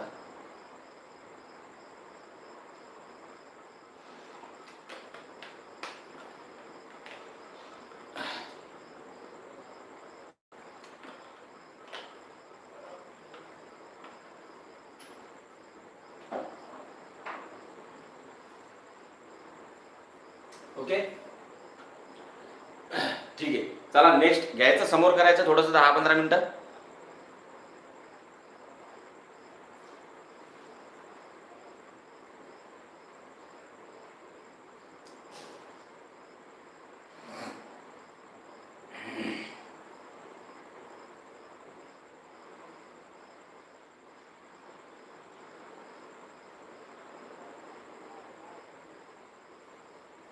शेड्यूल आर वन आणि यम थ्री हे सेम नाहीत. मेडिकल डिव्हाइससाठी बघा शेड्यूल यम थ्री जो आहे तो कशासाठी आहे? Good manufacturing requirement for the manufacturing of काय? मेडिकल डिव्हाइसेस म्हणजे जर मेडिकल डिव्हाइस तयार करायचा असेल तर कोणत्या कंडिशन तिथं फुलफिल असायला पाहिजेत? म्हणजे ती इंडस्ट्री कशी असायला पाहिजे? तो एरिया कसा असायला पाहिजे? विद्या विद्यार्थ्यांना किती एरिया कोणता मेडिकल डिव्हाइस तयार करण्यासाठी पाहिजे म्हणजे गुड मॅन्युफॅक्चरिंग प्रॅक्टिसेस बद्दल एम थ्री मध्ये सांगितलेलं आहे. आणि शेड्यूल जो आर वन आहे त्याच्यामध्ये स्टँडर्ड फॉर मेडिकल डिव्हायसेस म्हणजे हे जे आता वेगवेगळे मेडिकल डिव्हायसेस असतील जेही मेडिकल डिव्हायसेस आपण आपल्या यूजमध्ये येतात जसं की स्पिग्मो मॅनोमीटर असो किंवा ईसीजी मशीन एक्सरे मशीन हे सगळे मेडिकल डिव्हायसेस जिथं तयार होतात तर हे कशा प्रकारचे असायला पाहिजे? म्हणजे असते ना फॉर एक्झाम्पल पिग्मो मॅनोमीटर जे आहे तर त्याचे स्पेसिफिकेशन कसे असायला पाहिजे? मर्क्युरी कोणत्या क्वालिटीचा असायला पाहिजे त्याच्यामध्ये? ओके त्याच्यामध्ये जो रबर यूज केलेला आहे त्या याच्यासाठी त्या म्हणजे जेही समजा गोष्टी यूज केलेल्या आहेत तर त्याचं स्टँडर्ड कसं आहे? तर ते त्याच्यामध्ये त्या आरमध्ये हे लक्षात ठेवा. यम यम थ्री जे आहे तर ते गुड मॅन्युफॅक्चरिंग प्रॅक्टिस म्हणजे इंडस्ट्री कशी असायला पाहिजे? मेडिकल डिव्हाइस तयार करण्यासाठी. एरिया काय असायला पाहिजे? ते दिलं जातं. आणि इकडे काय दिलं जातं? स्टँडर्ड कसा असायला पाहिजे? म्हणजे जो मेडिकल डिव्हाइस तयार केला तर तो कसा त्याची क्वालिटी कशी असायला पाहिजे? असं येते वेगवेगळं आहे. ओके आता बघा विद्यार्थी मित्रांनो पर्टिक्युलर लेबल्स म्हणजे जर काही शेड्यूलचे ड्रग असतील तर त्यांच्या पॅकेजिंगवर कोणतं लेबल असायला पाहिजे? ओके त्यांच्या पॅकेजिंगवर लेबल काय असायला पाहिजे? तर काय इन्स्ट्रक्शन असायला पाहिजे? जसं की for example schedule H drug असतील विद्यार्थी शेड्यूल एच ड्रग तर त्यांच्या R X on the left top corner of the label म्हणजे त्यांचं जे लेबल असतं त्या स्ट्रीपचं असो किंवा त्या बॉटलचं असो त्यांच्या लेबलच्या डाव्या कोपऱ्यामध्ये आर एक्स असं लिहिलेलं पाहिजे शेड्यूल एचच्या ड्रगमध्ये. शेड्यूल एच चे ड्रग आहेत ना म्हणजे लेफ्ट कॉर्नरला विद्यार्थी मित्रांनो लेबलच्या लेबलच्या काय असायला पाहिजे? आर एक्स असा असायला पाहिजे. हे त्यांना ठेवायचं आहे तुम्हाला.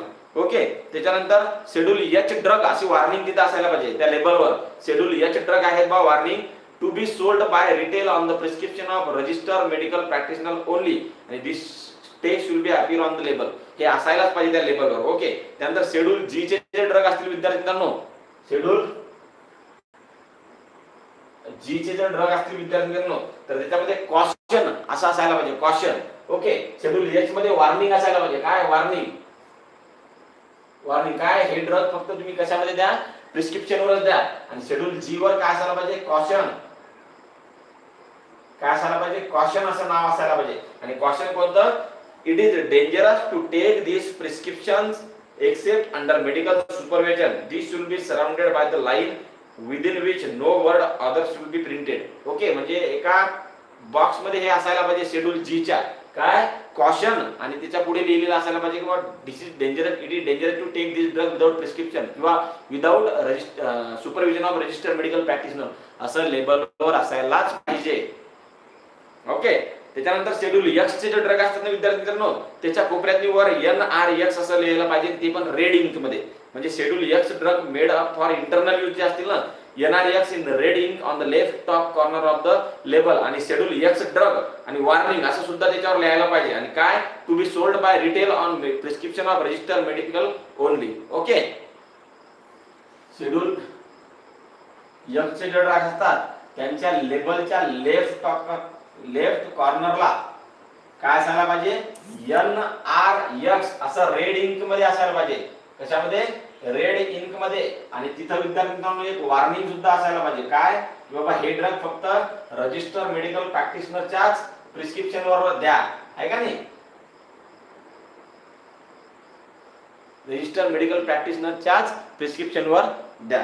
त्याच्यानंतर विद्यार्थी मित्रांनो शेड्यूल सी ड्रग जे आहेत ना शेड्यूल सी ड्रग यांच्यावर सुद्धा काही लेबलिंग रिक्वायरमेंट आहेत. मग तुम्हाला पेपरमध्ये प्रश्न येऊ शकतो की शेड्यूल सी चे जे ड्रग आहेत त्याची लेबलिंग रिक्वायरमेंट खालीलपैकी कोणकोणती आहे? त्याच्यामध्ये तीन ऑप्शन तुम्हाला बरोबर देतील आणि चौथा ऑप्शन एखादं चुकीचं देतील ओके तरी तुम्हाला ओळखायचं असतं किंवा ऑल ऑफ द अबव असं सुद्धा देऊ शकतात. मग कोणकोणते लेबलिंग रिक्वायरमेंट आहे? शेड्यूल सी च्या ड्रगमध्ये बघा. Proper name of the drug in the addition to the patent of the proprietor name त्यानंतर licence number batch lot number statement potency unit manufacturing name and address त्याच्या लेबलवर असायला पाहिजे.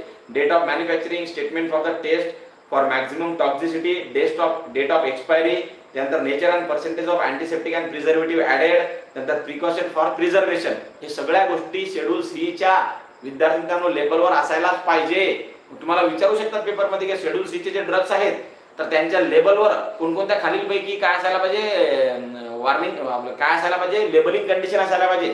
तर एवढ्या गोष्टी असायला पाहिजे हे तुम्हाला ध्यानात ठेवायचे ओके त्याच्यानंतर सर्वात महत्वाचं एक शेड्यूल व्ही मध्ये येणारे जे ड्रग आहेत ना म्हणजे पेटेंट आणि प्रोप्रायटरी मेडिसिन त्यांच्या लेबलवर काय लिहायला असायला पाहिजे माहिती का? Should have on its label word काय असायला पाहिजे? फॉर प्रोफाईल यूज किंवा फॉर थेराप्युटिक यूज मग तुम्हाला विचारू शकता की बाबा असं लेबलिंग रिक्वायरमेंट कोणाचं आहे? फॉर प्रोफायलॅक्टिक यूज किंवा फॉर थेराप्युटिक यूज हे विद्यार्थी मित्रांनो कोणत्या शेड्यूलच्या ड्रगच्या लेबलवर असायला पाहिजे? तर शेड्यूल व्ही मध्ये येणारे जे पेटेंट आणि प्रोप्रायटरी मेडिसिन आहेत ना पेटेंट आणि प्रोप्रायटरी मेडिसिन जसे की व्हिटॅमिन्स वगैरे तर त्यांच्या लेबलवर विद्यार्थी मित्रांनो हे गोष्टी असायला पाहिजे. ठीक आहे? त्याच्यानंतर ऑप्थॅल्मिक ऑइंटमेंट जे असतात ऑप्थॅल्मिक ऑइंटमेंट असो ऑप्थॅल्मिक ड्राप असो ऑप्थॅल्मिक सोल्युशन असो त्यांच्या याच्यावर काय लिहायला पाहिजे विद्यार्थ्यांना बघा. It should have warning on its level काय वॉर्निंग असायला पाहिजे? If irritation persist or increases discontinue the use of and consult physician म्हणजे जर तुम्ही हे ड्रॉप टाकत असाल ऑप्थॅल्मिक सोल्युशन यूज करत असाल आणि तुमच्या डोळ्यामध्ये जर इरिटेशन होत असेल आणि ते खूप वेळपर्यंत राहत असेल थोडं झालं तर ठीक आहे पण लय वेळपर्यंत राहत असेल पुन्हा पुन्हा टाकताना पुन्हा पुन्हा होत आहे तर तुम्हाला तिथं काय करायचं आहे मेडिसिन स्टॉप करायचं आहे तुमच्या फिजिशियनला म्हणजे जो ऑप्थॅल्मिक ऑफिसर आहे किंवा ऑप्थॅल्मिक सर्जन आहे किंवा जोही अत्यात्मिक डॉक्टर आहे त्याला तुम्हाला काय करायचंय दाखवायचंय. ओके? त्याच्यानंतर विद्यार्थ्यांना special instruction for the storage if application काही स्टोरेज कंडिशन असतील किंवा कूल प्लेसवर ठेवा ड्राय प्लेसवर ठेवा तर ते सुद्धा या अत्यात्मिक सोल्युशनच्या याच्यावर असायला पाहिजे. ओके? त्याच्यानंतर medicine containing methylated spirit okay? Methylated spirits जे आहेत त्यांच्यावर सुद्धा एक कंडिशन असायला पाहिजे. इट शुड हॅव वर्ड काय असायला पाहिजे? फॉर एक्सटर्नल यूज ओनली हे त्याच्यावर असायलाच पाहिजे. ओके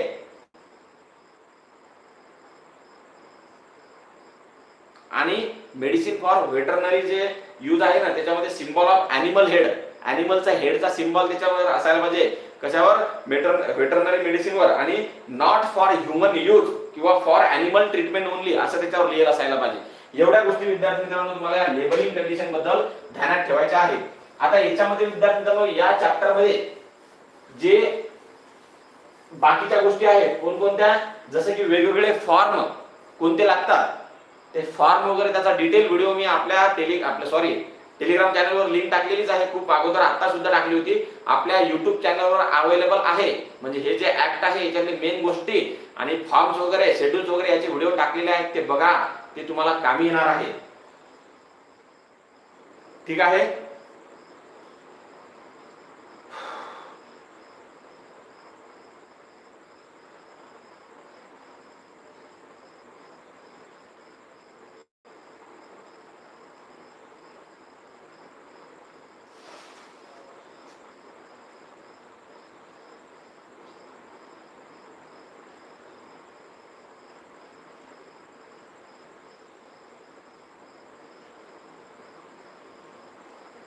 समजलं का इथपर्यंत?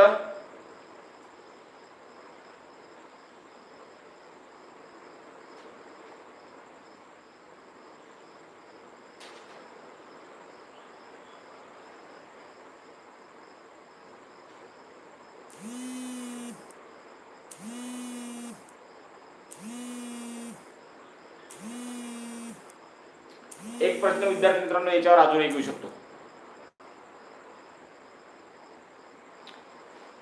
ऑफेन्सेस आणि पेनाल्टीजवर या ड्रग अँड कॉस्मेटिक ऍक्ट जे आहे त्याच्या ऑफेन्सेस आणि पेनाल्टीजवर एक क्वेश्चन खूप वेळा आलेला आहे. आणि तो क्वेश्चन म्हणजे विद्यार्थी कोणता माहिती का? Offence involving the use of report of government analyst for advertising first conviction is punishable with the fine up to R S five hundred and for subsequent conviction imprisonment about ten years or the fine or both म्हणजे विद्यार्थी मित्रांनो for example for example सांगत आहे. एखादं manufacturing unit आहे किंवा एखादा retailer आहे त्याच्या मेडिकल मधलं एखादा ड्रग अनालिस्ट म्हणजे गव्हर्नमेंट अनालिस्टला पाठवला सेंट्रल ड्रग लॅबोरेटरीमध्ये त्याची क्वालिटी चेक करण्यासाठी किंवा मॅन्युफॅक्चरिंग युनिट एखाद्या इंडस्ट्रीवाल्यांनी जर पाठवला तर विद्यार्थी मित्रांनो फॉर एक्झाम्पल तिथं मग ते सगळं सक्सेस झाला. फॉर एक्झाम्पल ड्रग काही फॉल्टी निघला नाही काय नाही व्यवस्थित निघला. आणि त्याचा रिपोर्ट सुद्धा यांच्याकडे आला. आणि हा रिपोर्ट जर विद्यार्थी मित्रांनो या लोकांनी ऍडव्हर्टाइजमेंटमध्ये साठी युज केला की बाबा आम्ही जे मॅन्युफॅक्चरिंग केलं तर हे गव्हर्नमेंट अनालिस्टनं चेक केलं पण त्याला काही आढळलं नाही. याच्यामध्ये आमचा ड्रग चांगलाच आहे.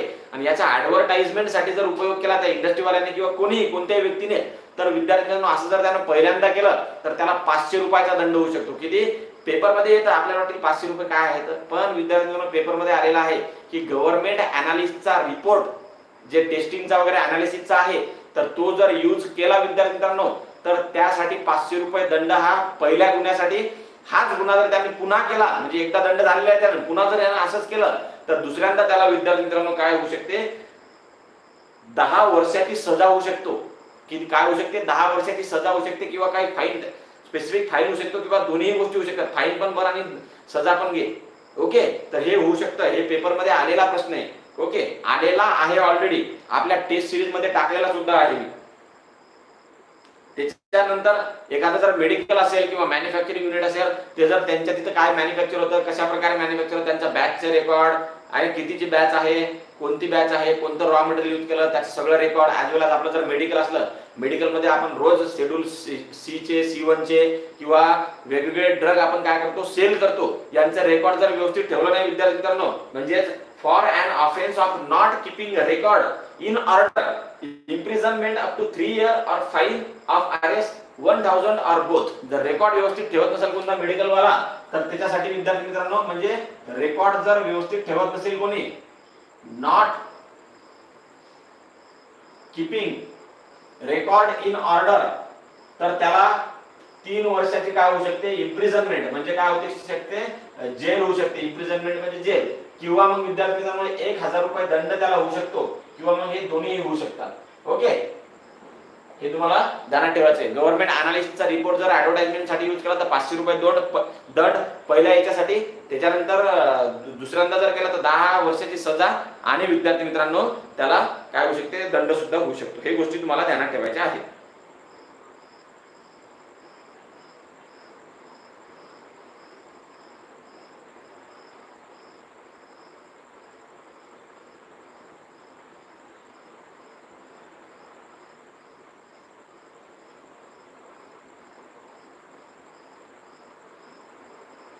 आता फॉर एक्झाम्पल एखादा मेडिकल आहे. त्या मेडिकलमध्ये विद्यार्थी मित्रांनो ऍडल्ट्रेड स्पुरियस ड्रग आहेत. आणि त्याच्यामध्ये विद्यार्थ्यांना टॉक्झिक सबस्टन्सेस सुद्धा आहेत. तर अशा जर मेडिकलला पकडलं वगैरे किंवा अशा मॅन्युफॅक्चरिंग युनिटला जर पकडलं तर काय होऊ शकतं? पहिल्यांदा तर मिनिमम पाच वर्षाची सजा होईल त्याला किंवा ती एक्सटेंड होऊ शकते विद्यार्थी मित्रांनो लाईफ टाईम ओके जर खूप घोर गुन्हा असेल तर ती लाईफ टाईम सुद्धा काय होऊ शकते? एक्सटेंड होऊ शकते. किंवा मग मिनिमम दहा हजाराचा दंड त्याला पहिल्या गुन्ह्यासाठी होऊ शकतो. असं जर पुन्हा आढळून आलो विद्यार्थी फॉर एक्झाम्पल त्याला दहा हजार रुपये दंडच केला शिक्षा दिली नाही काही. आणि दुसऱ्यांदा त्यानं हाच गुन्हा केला म्हणजे त्याच्या दुकानमध्ये किंवा मेडिकलमध्ये किंवा मॅन्युफॅक्चरिंगमध्ये अडल्ट्रेस पुरियस किंवा सबस्टिट्युएट ड्रग आढळले आणि त्यांच्यामध्ये टॉक्सिक सबस्टन्सेस असणारे ड्रग्स आहेत ते. तर त्याला विद्यार्थ्यांना पहिल्यांदा तर पाच वर्षाची सजा होऊ शकते. ही सजा जर कोर्टाला वाटलं तर ती पूर्ण लाईफ पर्यंत देऊ शकतात. किंवा मग दहा हजार रुपये दंड त्याला होऊ शकतो. पहिल्यांदा. आणि हेच जर दुसऱ्यांदा केलं विद्यार्थ्यांना for subsequent conviction imprisonment up to the ten years दहा वर्षाची सजा may extend to the life पूर्ण जन्मकैद सुद्धा होऊ शकते. किंवा मग वीस हजार रुपये दंड आणि दोन्ही सुद्धा होऊ शकते. तर हे राहणार तुम्हाला. हे एवढं येणार नाही विद्यार्थ्यांनो जे गव्हर्नमेंट अनालिस्ट आहे आणि दुसरी गोष्ट म्हणजे रेकॉर्ड जर ठेवलं नाही व्यवस्थित तर काय होऊ शकते? किती सजा होऊ शकते? तर हे येऊ शकते. ठीक आहे? ओके? तर काही महत्त्वाच्या गोष्टी अजून जर काही राहिलेल्या असतील तर तुम्ही आता तुमच्या सेल्फ स्टडी करा. कारण की आता टाइम राहिलेला नाही. उद्याचा दिवस उद्या लाईव्ह लेक्चर वगैरे होईल की नाही सांगता येत नाही. ओके?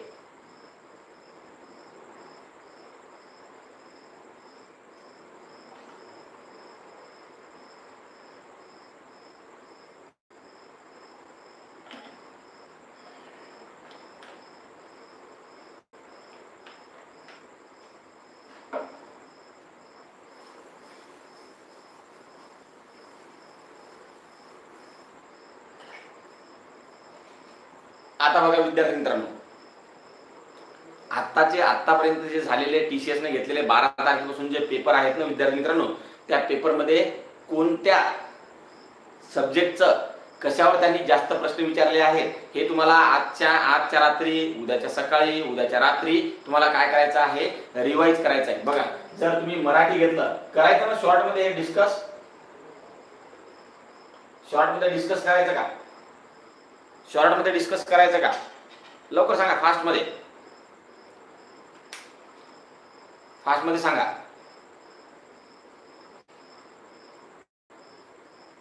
ओके चला करायचं असेल तर व्हिडिओला लाईक करा. लवकर फटाफट लाईक करा. ठीक आहे? मराठी जो सेक्शन आहे विद्यार्थी मित्रांनो मराठी सेक्शनमध्ये आतापर्यंत तुम्ही जर पेपर म्हणजे बघितले किंवा विद्यार्थ्यांचे रिप्लाय बघितले तर याच्यामध्ये विद्यार्थी मित्रांनो सर्वात जास्त प्रश्न किंवा जे प्रश्नाचे टॉपिक्स आहेत ते विद्यार्थी मित्रांनो एक म्हणजे समानार्थी शब्द.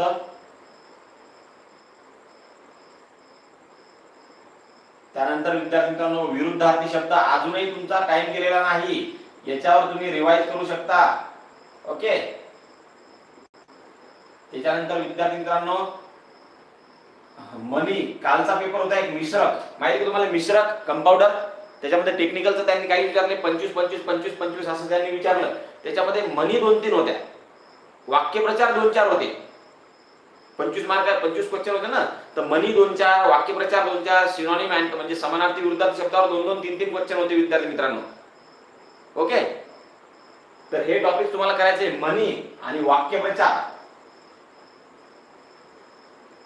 हे तुम्हाला करायचेच आहे विद्यार्थी मित्रांनो. ओके? त्याच्यानंतर विद्यार्थी मित्रांनो दुसरं म्हणजे अलंकार. प्रत्येक पेपरमध्ये अलंकारवर क्वेश्चन आहे. प्रत्येक पेपरमध्ये अलंकारवर क्वेश्चन आहे. प्रत्येक पेपरमध्ये अलंकारवर क्वेश्चन आहे. देवा दीनदयाळा दूर द्रुत दुःख काहीतरी आहे ना? शांतीचं मज दे कोणत्या अलंकाराचं उदाहरण आहे? हम्म?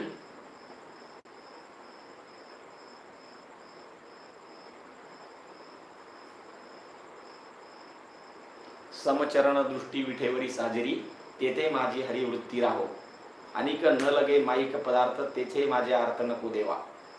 ब्रह्मादिक पदे दुखाची शिराणी तेथे दुश्चिंत जणी जडो दिसी. तुका म्हणे त्यांचे कळले आम्हा वर्म जे जे कर्मधर्म नाशवंत. ठीक आहे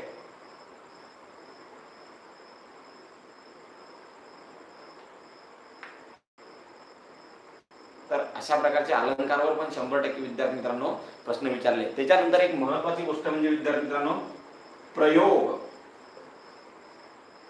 त्यानंतर समास. मी तुम्हाला पहिले सांगितलं होतं की मी तुम्हाला मी अगोदर व्हिडिओ टाकले होते विद्यार्थी मित्रांनो. काय? की मी तुम्हाला टीसीएस आयबीपीएस चे टॉपिक तर सांगत आहे पण हेच टॉपिक विचारले असं नाही. याच्यामध्ये समास सुद्धा त्यांनी विचारलेला आहे. प्रयोग सुद्धा जास्त प्रमाणात विचारलेले आहेत. काहीही विचारू शकतात ओके त्याच्यामुळे तुम्हाला मराठी ग्रामर मी अगोदर सांगितलं होतं. पूर्ण चॅप्टर तुम्हाला व्यवस्थित करायचे आहे. ठीक आहे? त्याच्यानंतर वाक्य रूपांतर सुद्धा त्यांनी विचारलं विद्यार्थी वाक्य रूपांतर. काय? वाक्य रूपांतर सुद्धा विचारलेले आहे. त्यानंतर विद्यार्थ्यांनो शुद्ध शब्द हे पण विचारलेले आहे. शुद्ध शब्द ओळखा. त्याच्यानंतर विद्यार्थ्यांनो पुस्तके आणि त्यांचे लेखक. सगळे प्रश्नाचे हे प्रश्न सुद्धा मी आपल्या टेस्ट सिरीजमध्ये टाकलेले आहेत विद्यार्थी मित्रांनो आणि विद्यार्थी मित्रांनो हे सगळे जे कोणते जे जेवढे टाईप दिलेले आहेत या सगळ्यावरचे प्रश्न आपल्या याच्यामध्ये आहेत. त्याच्यामध्ये टेस्ट सिरीजमध्ये. आणि हे तुम्हाला आता या उद्याच्या तारखेत रिवाईज तरी करून घ्यायचे. कन्सेप्ट तरी माहीत असायला पाहिजे. ओके? पुस्तके त्यांचे लेखक प्रयोग म्हणी विरुद्धार्थी शब्द समानार्थी शब्द त्याच्यानंतर विद्यार्थ्यांनो वाक्यप्रचार शुद्ध शब्द त्याच्यानंतर शुद्ध लेखन सुद्धा. शुद्ध लेखन सुद्धा विद्यार्थ्यांना त्यांनी विचारलेलं आहे. ओके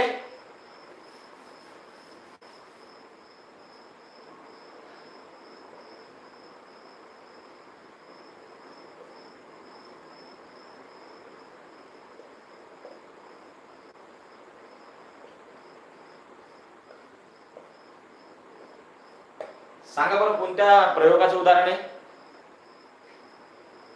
जादूगराने जादूचे प्रयोग केले. सांगा. कोणत्या प्रयोगाचं उदाहरण आहे?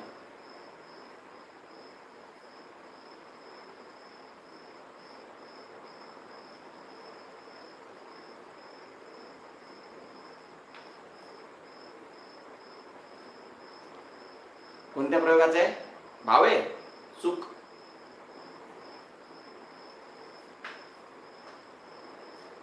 चूक चूक चूक. भावे म्हणणारे सगळे चूक असेच तपासण्या पेपरमध्ये पेपरमध्ये येतात. भावे प्रयोग म्हणणारे चूक. भावे प्रयोगामध्ये काय सांगितलेले? कर्मणी ज्यांनी म्हटलं कर्मणी प्रयोगाचं उदाहरण हे बरोबर आहे. कर्मणी ज्यांनी म्हटलं ते बरोबर त्यांचंच बरोबर आहे.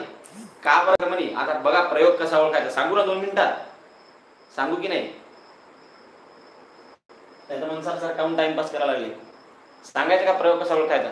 बघा प्रयोग ओळखण्यासाठी तुम्हाला अगोदर कर्ता ओळखणं गरजेचं आहे कर्म ओळखणं गरजेचं आहे. हे दोन गोष्टी विद्यार्थी मित्रांनो तुम्हाला ओळखणं गरजेचं आहे. कारण की जो प्रयोग असतो फॉर एक्झाम्पल जर कर्तरी प्रयोग असलो तर त्या प्रयोगात कर्ता हा नेहमी प्रथमा विभक्तीत असतो.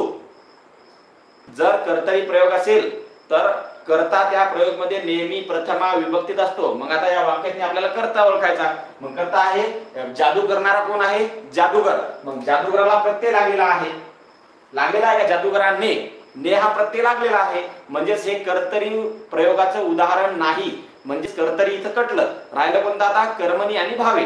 ओके. आता कर्मणी प्रयोग असा असतो की कर्माला त्याच्यामध्ये काय नसतं प्रत्यय नसतं. कर्मनी प्रयोगामध्ये कर्म हा नेहमी प्रथमा विभक्तीत असतो. विभक्ती तर माहितीच नाही विभक्तीचे प्रत्यय माहीत नाही तुम्हाला? तर प्रथमा विभक्ती असतो. मग आता इथं आपल्याला कर्म ओळखायचे. हे जादूगर झाला विद्यार्थी मित्रांनो जादूगर झाला करता. आणि कर्म काय झालं माहिती का? काय केलं त्यानं? प्रयोग करून दाखवले ना प्रयोग. तर हे जे प्रयोग आहे ना प्रयोग तर हा आहे विद्यार्थी मित्रांनो कर्म. काय आहे? कर्म. आणि हे जादूचे जे आहे ना तर जादूचे इथं अनेक वचन वापरलं. जादूचा प्रयोग किंवा जादूचे प्रयोग. ओके? मग आपल्याला काय सांगितलेलं आहे? पहिली गोष्ट म्हणजे पहिली गोष्ट म्हणजे काय सांगितलेली आहे?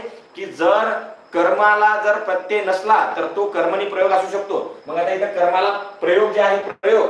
तर या प्रयोगाने किंवा प्रयोगाचा याला प्रत्यय वगैरे आहे का नाही? प्रयोग हा फक्त प्रथम विभक्ती म्हणजेच कर्मणी प्रयोग असू शकतो. मग दुसरी अट तिथे लावायची विद्यार्थ्यांना भावे पण राहणार ते पण ओळखायचं आपल्याला. लक्षात पण भावे राहणार नाही कारण की भावे प्रयोगातनी कर्ता आणि कर्म या दोघांनाही प्रत्यय पाहिजेत ओके? आणि जे हे असतं काय? क्रियापद ते तृतीय पुरुषी नपुसक लिंगी एक वच अनेक वच एक वचनी पाहिजे असते. ओके? त्याच्यामुळे हे भाव्य प्रयोगाचं उदाहरण आहे. मग कर्मणीचं आहे हे कशावरून ओळखायचं? तर कर्मणीच्या याच्यातली कर्म प्रथमा विभक्तीत आहे दुसरी गोष्ट म्हणजे कर्मानुसार हे क्रियापद बदलतं का? कर्माला जर आपण प्रत्यय लावून पाहिला तर क्रियापद बदलतं का? तर बदलते. कसं बघा? जादूगराने जादूचे प्रयोग केले. इथं याचा आपण वचन बघा प्रयोग केव्हा बदलतो? जेव्हा वचन त्यानंतर आपण लिंग वगैरे बदलून पाहतो. तर जादूचे जादूचे म्हणजे खूप जास्त अनेक वचन. आहे मग याचा आपण एक वचन करून पाहू जादूचा करून पाहू. याच्यानुसार जर क्रियापद बदललं कर्मानुसार तर याचा अर्थ ते कर्मणी प्रयोग आहे. मग इथं आपण काय करायचं? जादूगराने जादूचा प्रयोग केला. बदललं क्रियापद. कर्मानुसार म्हणून हा कर्मणी प्रयोग आहे. म्हणून हा कर्मणी प्रयोग आहे.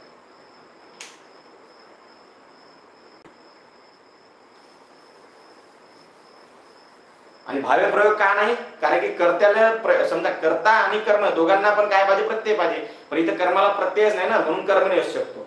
ओके? समजलं का?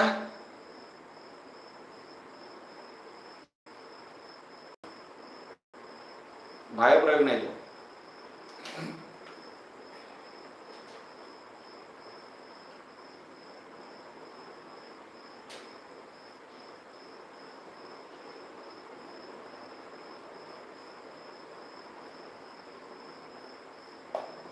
हरण्याच्या कानात वारे शिरले.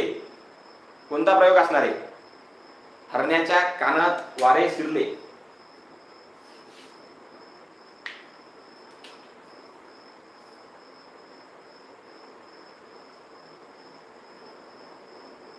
सकर्मक कर्तरी असेल की अकर्मक कर्तरी असेल?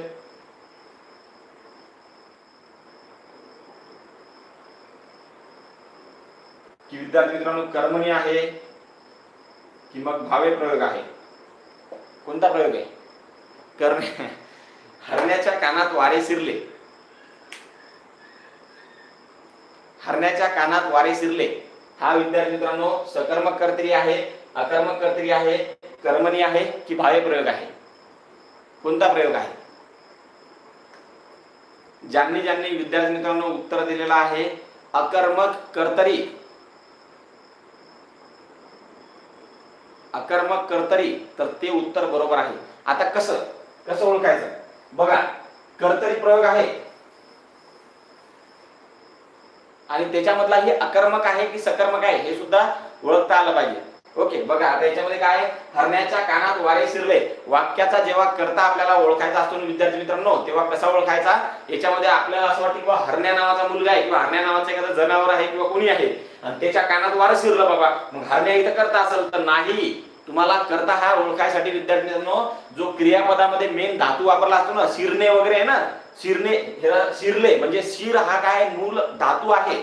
तर याला तुम्हाला नारा नारी नारे हे प्रत्यय वापरून याला काय करायचंय तुम्हाला विद्यार्थ्यांना? प्रश्न विचारायचं. काय विचारलं? की बाबा शिरणारे कोण? शिरणारे काय? शिरणारे कोण? तर कोण शिरलं? हरण्याच्या कानात वारं शिरलं. म्हणजे विद्यार्थी मित्रांनो इथं हे जे वारं आहे ना वारं तर हे काय आहे? करता आहे. आणि वारे म्हणजे अनेक वारे. फॉर एक्झाम्पल वारे गेले. खूप जास्त झुळूक गेले आतमध्ये. वारे हे अनेक वस्तू विचारलं. म्हणजे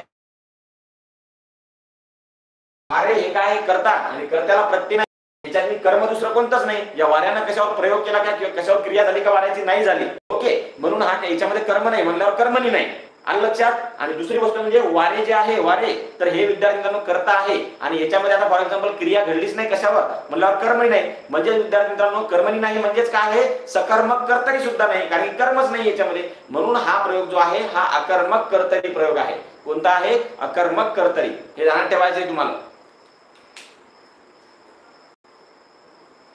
समजलं का पोट्य समजलं का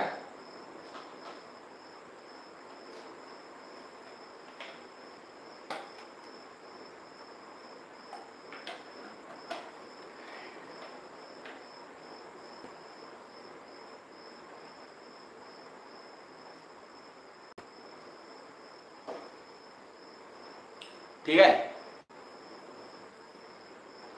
आता आता काय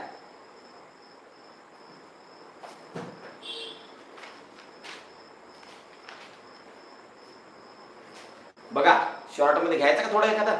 अलंकार वगैरे? बापरे बाप दीड घंटा झाला.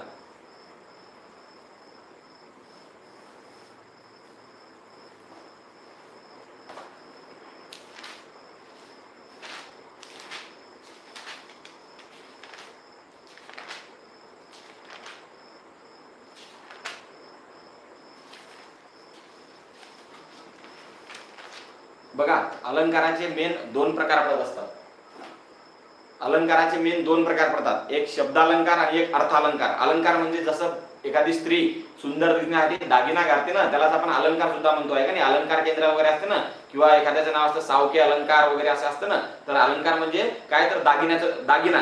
अलंकाराचं दुकान म्हणजे दागिन्याचं दुकान अलंकार. ओके.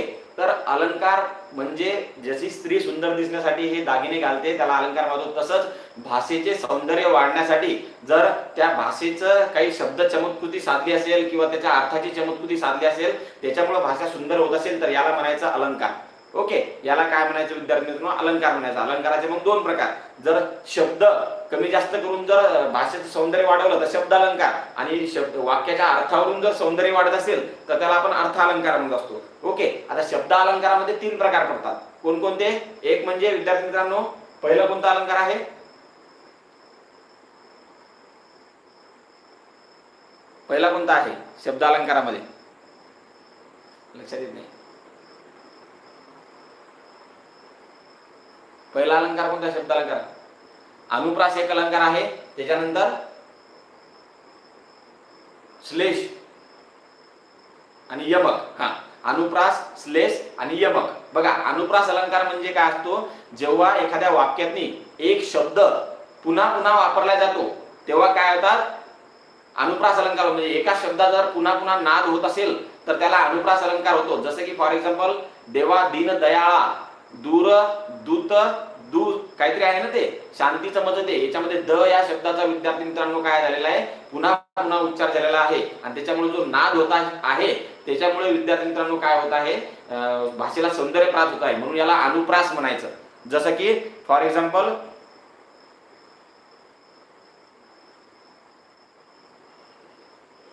फॉर एक्झाम्पल आपलं काय आहे? ठीक आहे जाऊ द्या समजला आता? अनुभव अनुप्रास त्याच्यानंतर विद्यार्थ्यांना दुसरा असतो श्लेष अलंकार. या श्लेष अलंकारामध्ये एकच शब्द जर दोन अर्थाने जर वापरला तर विद्यार्थी त्याला काय म्हणतात? श्लेष अलंकार म्हणतात. म्हणजे पुष्करू नका ही सुमने. जरी वास नसे तिळ यास तरी अर्पिली तुम्हा सुमने. म्हणजेच काय? सुमने आणि सुमने. दोनदा याच्यामध्ये युज केलं. एका जागेवर पुष्करू नका ही सुमने. म्हणजे ही जी फुलं आहे ही पुष्करू नका. जरी वास नसेल तीस म्हणजे जरी यांना सुगंध नसेल तरी तुम्हाला मी ही चांगल्या मनानं म्हणजे सुमने अर्पण केलेली आहेत म्हणजे सुमने आणि सुमने यांचा दोन अर्थ एक तर फुलं आणि दुसरं म्हणजे चांगलं मन. म्हणजे एकच शब्द दोन अर्थानं जेव्हा वापरला जातो टू मिनिंग तर त्याला म्हणायचं विद्यार्थी मित्रांनो श्लेष अलंकार. आणि विद्यार्थी मित्रांनो त्याच्यानंतर दुसरा तिसरा जो अलंकार आहे याच्यामधला शब्द अलंकारामधला तो येतो कोणता? आपला यमकलंक आहे. याच्यामध्ये जो शब्दाचा शेवटचं जे चरण असते ना शब्द जे असते ना म्हणजे एखाद्या वाक्याचा शेवटचा जो शब्द असतो ना आणि दुसऱ्या वाक्याचा पण शेवटचा शब्द याच्यामुळे जो नाद तयार होतो का नाही आणि त्याच्यामुळे जे भाषेत सौंदर्य वाढतं त्याला म्हणतात विद्यार्थी मित्रांनो कोणता अलंकार? यमकलंकार. म्हणजे सुसंगती सदा घडो सुजन वाक्य कानी पडो म्हणजे घडो आणि पडो. इथं काय झाले? दोन शब्द इथं काय झाले? यमक जुळले इथं ओके? तर त्याच्यामुळे विद्यार्थी मित्रांनो याला काय म्हणायचं? यमकलंकार म्हणायचं ओके? त्याच्यानंतर मग विद्यार्थी मित्रांनो जे अर्थालंकार असतात याचे कमीत कमी पंधरा पंधरा सोळा प्रकार पडतात आणि सगळं कन्फ्युजन कुठे होतं? या अर्थालंकारामध्ये. ओके तर हे तुम्हाला काय करायचं शॉर्टमध्ये वाचून घ्यायचे आहे. आता एवढा स्टॅमिना नाही राहिला आपला. त्याच्यामध्ये जे महत्त्वाचे आहेत काही जसं की फॉर एक्झाम्पल उपमा अलंकार आहे. उपमा अलंकार. म्हणजे विद्यार्थी मित्रांनो याच्यामध्ये जर एखादा शब्द आहे या शब्दाला दुसऱ्या शब्दाची जर कोणती उपमा जर दिली तर त्याला उपमा अलंकार म्हणत असतो. आणि उपमा देण्यासाठी याच्यामध्ये काही शब्द वापरले जातात. ते शब्द विद्यार्थी मित्रांनो तुम्हाला ध्यानात ठेवायचे. काय? सम समान. आहे का नाही? परी प्रमाणे गत परिस वगैरे असे जे शब्द वापरून जर कोणाचा जर त्याला उपमा देण्याची हे केलं त्याच्यामध्ये वाक्यात तर तो उपमा अलंकार होत असतो. जसं की फॉर एक्झाम्पल विद्यार्थी मित्रांनो बघा. असेल तिथे वाहत सुंदर दुधासारखी नदी. म्हणजे नदी जी आहे ती कोणासारखी? दुधासारखी. म्हणजे दुधाची इथं उपमा दिलेली आहे. मग वाक्यात जर विद्यार्थ्यांना जे मूळ वस्तू आहे त्याला काय म्हणायचं? उपमेय म्हणायचं. मूळ वस्तू इथं कोण आहे? म्हणजे असेल वाहत तेथे दुधा सुंदर दुधासारखी नदी. तर इथं विद्यार्थी मित्रांनो जे नदी आहे ती मूळ वस्तू म्हणजे उपमेय. उपमेय म्हणजे मूळ वस्तू. मग तुम्हाला एखाद्या वेळेस एखादा वाक्य देतात आणि याच्यामधलं उपमेय कोणतं आणि उपमान कोणतं हे सुद्धा विचारते मित्रांनो विचारतात. तर उपमेय म्हणजे मूळ वस्तू. तर याच्यातली नदी ही काय आहे? मूळ वस्तू आहे. आणि उपमान म्हणजे तिथं म्हणजे कोणासारखी दाखवण्यासाठी म्हणजे उपमा उपमा देण्यासाठी वापरण्यात आली ना? तर ती म्हणजे काय विद्यार्थी मित्रांनो? उपमान. आणि उपमान कोण आहे? मग इथं गुणाने अधिक असलेले म्हणजे दूध वगैरे आहे का नाही? दूध काय झाले? तर उपमान. तर उपमेय आणि उपमान याच्यामधला सुद्धा फरक माहीत असायला पाहिजे. हे सुद्धा पेपरमध्ये विचारतात. आहे तेथे सुंदर दुधासारखी नदी. त्यानंतर सुशिला गोगलगाई सारखी हळूहळू चालत होती. आता ही जी गोगलगाय आहे सुशिला काय ही मूळ व्यक्ती आहे.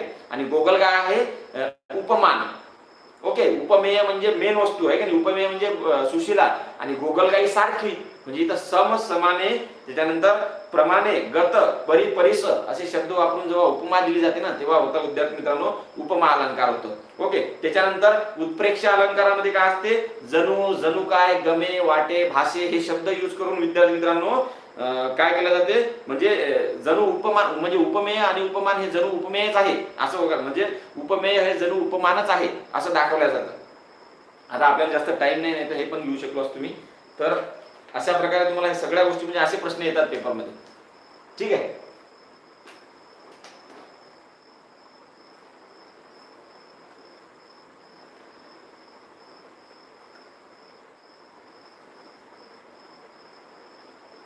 दृष्टांक अलंकार म्हणजे एखादा जर आपल्याला काही गोष्ट पटवून द्यायची असेल पटवून सांगायची असेल तर एखादा दृष्टांत आपण देतो ना. आहे का नाही? तर ते दृष्टांत अलंकार होतो अतिशयोक्ती पण ध्यानात ठेवायचं. एखादी गोष्ट वरकर चढून जर सांगितली तर ते अतिशयोक्ती म्हणून पण होतं. त्याच्यानंतर आनंदवय म्हणजे एखादी गोष्ट लपवायची असली समजा तर ते सुद्धा आनंदवय होतं. आपण होती वगैरे अलंकार आहेत. त्यानंतर असे जे अलंकार आहेत त्याच्याबद्दल थोडं वाचून जर घेतलं तर इझिली तुम्ही काय करू शकता? क्लिअर करू शकता. ठीक आहे? त्यानंतर समानार्थी शब्द विरुद्धार्थी शब्द पाठच पाहिजे.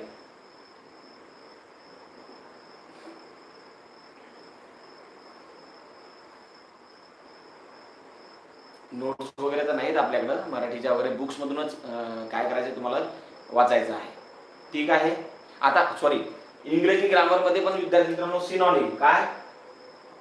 सिनॉनिमवर प्रश्न आले अँटॉनिमवर जे मराठीमध्ये हे आहेत का नाही त्याच्यावरच प्रश्न आले. म्हणजे मराठीत समानार्थी इंग्रजी सिनॉनिम्स अँटोनिम्स वर प्रश्न आले. खूप दोन दोन तीन तीन कालच्या पेपरमध्ये दोन तीन तीन तीन प्रश्न होते. वन वर्ड सबस्टिट्यूशन आहे का नाही? वन वर्ड म्हणजे अनेक शब्दांबद्दल एक शब्द. वन वर्ड सबस्टिट्यूशन याच्यावर शब्द सुद्धा आले. त्यानंतर ईडीएम फ्रेजेसवर दोन दोन तीन तीन क्वेश्चन आले विद्यार्थ्यांनो. ईडीएम फ्रेजेसवर पण क्वेश्चन क्वेश्चन आले. त्याच्यानंतर सगळ्यात महत्वाचं म्हणजे विद्यार्थ्यांनो स्पेलिंग स्पेलिंग मिस्टेक वर विद्यार्थी मित्रांनो प्रश्न आलेले आहेत. त्याच्यानंतर विद्यार्थी मित्रांनो स्पेलिंग मिस्टेकच्या नंतर फाउंड फाइंड द एरर वाक्यात एरर वगैरे आहे का कुठे? त्याच्यानंतर रिअरेंजमेंट ऑफ सेंटेन्स म्हणजे चार वाक्य दिले जातात तुम्हाला. या चार वाक्यापैकी विद्यार्थी मित्रांनो म्हणजे कोणतं वाक्य? एक नंबरला येईल दोन म्हणजे व्यवस्थित रिअरेंज करायचं सेंटेन्स आपली जी टेस्ट सिरीज आहे या टेस्ट सिरीजमध्ये सिनॉनिम झाला अँडलिन झाला वन वर्ड सिच्युएशन झाला idiom phrases spelling mistake find the error त्यानंतर रिअरेंजमेंट वगैरे या सगळ्यांवर विद्यार्थी मित्रांनो मी प्रश्न टाकलेले आहेत. ओके? आता तुम्ही म्हणता जर तुमच्या टेस्ट सिरीजमध्ये जे प्रश्न आहेत तेच प्रश्न पेपरमध्ये येणार का? तर असं होत नाही. कदाचित येऊ शकतात. पण टेस्ट सिरीजचा मेन उद्देश असा असतो की तुम्हाला समजलं पाहिजे की टेस्ट सिरीजमध्ये हा प्रश्न आला. म्हणजे फॉर एक्झाम्पल डायरेक्ट इनडायरेक्ट स्पीचवर आला विद्यार्थी मित्रांनो क्वेश्चन तर तो डायरेक्ट इनडायरेक्ट स्पीच तुम्हाला व्यवस्थित करायचा आहे. जेणेकरून पेपरमध्ये पण असा प्रश्न आला तर तुम्हाला तो सोडवता आला पाहिजे. ओके हे त्याचं काय असतं? एम असतं. मूळ उद्देश असतं. नाहीतर तुम्ही चेक करा. आजही आपल्या टेस्ट सिरीज त्या टेस्ट सिरीजमध्ये मी समानार्थी शब्द विरुद्धार्थी शब्द शुद्ध लेखन वाक्य रूपांतर प्रयोग त्यानंतर समास हे सगळ्या गोष्टी विद्यार्थी मित्रांनो मी त्याच्यामध्ये टाकलेल्या आहेत. मनी वाक्यप्रचार याच्यावर सुद्धा प्रश्न टाकलेले आहेत. ओके? त्याच्यानंतर विद्यार्थी मित्रांनो इंग्रजी ग्रामरमध्ये पण तुम्ही चेक करा. इंग्रजी ग्रामरमध्ये सुद्धा तुम्ही चेक करा. मी synonym antonym one word substitution heading phrases त्याच्यानंतर find the error rearrangement of the sentence filling the blanks सगळे प्रश्न टाकलेले आहेत. हा राहिला प्रश्न आता मॅथ आणि रिझनिंगचा कोणता? मॅथ अँड रिझनिंग uh, तर याच्यामध्ये सुद्धा आपण जे प्रश्न टेस्ट सिरीजमध्ये टाकलेले आहेत तर त्याच प्रकारचे प्रश्न आलेले आहेत. म्हणजे सिटिंग अरेंजमेंट म्हणा त्याच्यानंतर डायरेक्शन म्हणा तुम्ही ओके त्यानंतर वेगवेगळ्या सिरीज वगैरे नंबर सिरीज असो अल्फाबेट सिरीज असो ते ते ते सुद्धा आलेलं आहे. त्याच्यानंतर कॅलेंडरवर सुद्धा प्रश्न आलेले आहेत ओके त्याच्यानंतर विद्यार्थी मित्रांनो हे सगळे पेपरमध्ये क्वेश्चन आलेले आहेत. ऑलरेडी टेस्ट सिरीजमध्ये पण अशा प्रकारचे टाईप ऑफ क्वेश्चन्स टाकलेले त्याच्यानंतर विद्यार्थी मित्रांनो कंच कंच बेवा आहे की नाही? त्याला आपण काय म्हणतो? पदावली. या पदावलीवर सुद्धा म्हणजे बेरीज वजाबाकी वगैरे याच्यावर सुद्धा क्वेश्चन आलेले आहेत. ब्लड रिलेशन बघा ब्लड रिलेशन वर सुद्धा क्वेश्चन आलेले आहेत की एखादा व्यक्ती एखाद्या स्त्रीकडे बोट करून दाखवतोय की ही माझ्या मामाच्या आईची पोरीची काहीतरी कोणतरी आहे. तर हे ओळखा. हे सुद्धा क्वेश्चन आपल्या टेस्टमध्ये टाकलेले आहेत हेच क्वेश्चन आलेले आहेत विद्यार्थी मित्रांनो. ओके त्याच्यात हा प्रॉफिट लॉसवर सुद्धा प्रश्न आलेले आहेत. हे सुद्धा टेस्ट सिरीजमध्ये आहेत आपल्या. ठीक आहे? तर अभ्यासच करण्यासाठी म्हणजे तुम्हाला पेपरमध्ये परफेक्ट प्रिपरे आता काही विद्यार्थी म्हणतात सर तुम्ही सोल्युशन दिलं नाही. ठीक सोल्युशन देणं चांगली गोष्ट आहे. याच्यानंतर जेव्हाही कोणत्या टेस्ट सिरीज आपण नवीन लॉन्च करील समजा किंवा काही क्वेश्चन जर ऍड करील तर त्याच्यामध्ये सोल्युशन देण्याचा मी प्रयत्न करतो मॅथ आणि रिझनिंगचा ओके त्यात काही शंका नाही. पण विद्यार्थ्यांना मग तुम्हाला तिथं सोल्युशन नाही तर मग तुम्ही काय करता? तुम्ही जर फॉर एक्झाम्पल एखादं कॅलेंडर वरला प्रश्न तुम्हाला आला नाही तो प्रश्न चुकला तर मग तुम्ही ते चुकला आला नाही समोर सोडून द्यायचं असं असते का? नाही.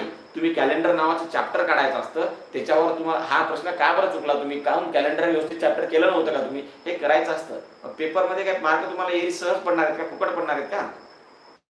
काही तुम्हाला अभ्यास करावा लागेल ना स्वतःचा पण. ठीक आहे सोल्युशन देणं चांगली गोष्ट आहे काही प्रॉब्लेम नाही. पण नाही होत कधी कधी पॉसिबल माझ्याकडून. मी करेल समोरच्या वेळेस ट्राय करेल. ठीक आहे? पण तिथं सोल्युशन नाही याचा अर्थ तुम्ही तो प्रश्न स्किप करून पुढे जायचं का नाही? तर ते का बरं चुकला तुमचा? तुम्ही लगेच तुमचं हे काढायला पाहिजे चॅप्टर लगेच रिवाइज करायचं ते. आपण का चुकलो इथं? दोन तीन एक्झाम्पल सोडून पाहायचे. ठीक आहे? झेडपीची बॅच चालू करण्याचा अजून काही विचार नाही पण जेव्हाही झेडपी समजा आता एक्झामची डेट लवकर येईल मला असं वाटते. झेडपीसाठी तर आपण स्पेशल एक सब्जेक्ट घेतला की तो एक सब्जेक्ट पूर्ण कव्हर करायचाच प्रयत्न करू. आपल्या ऍप्लिकेशनवर एक सब्जेक्ट जर घेतला तर रोज त्याचे व्हिडिओ लेक्चर्स होतील. एकदा जर चालू केली बॅच ती तर रोज त्याचे व्हिडिओ लेक्चर्स होतील. असंच करायचंय काहीतरी. ठीक आहे. चला दीड तासाचा आज लेक्चर झालं. आता माझाही स्टॅमिना संपला आहे आणि तुम्हीही आता जास्त काय करू नका टाइमपास करू नका. काय करा जे मी आता तुम्हाला लेक्चरमध्ये सांगितलं ते सगळ्या गोष्टी करून घ्या. तुमचं हॉल तिकीट काढले नसेल तर काढून घ्या. बॅग भरून घ्या पॅक करून घ्या ओके तर काय असेल तर तुम्ही मला कॉन्टॅक्ट करू शकता. इथपर्यंत आता झालेला आहे. शिकवायचं म्हटलं तर मी मराठी चांगल्या प्रकारे शिकू शकतो इंग्रजी चांगल्या प्रकारे शिकू शकतो पण टाइम लागतो. त्याच्यानंतर मॅथ रिझनिंग मला जमत नाही. जी के पण मी म्हणजे जास्त वाचत नसतो पण मी जर प्रिपेअर केलं तर जी के सुद्धा समजून सांगू शकतो काही प्रॉब्लेम नाही. आणि फार्मा तर जसं जमते तसं सांगतो सर. जरा जरा जसंही जमते आपल्यानुसार बुद्धीनुसार तसं सांगतोच.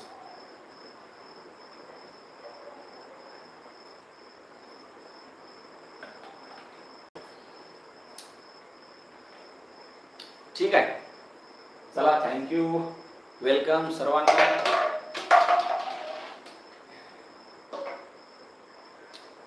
ओके पुन्हा एकदा तुमच्या अठरा तारखेला होणाऱ्या किंवा अठरा तारखेला घेण्यात येणाऱ्या डी एम आर फार्मसिस्ट पेपरसाठी तुम्हाला हार्दिक हार्दिक शुभेच्छा.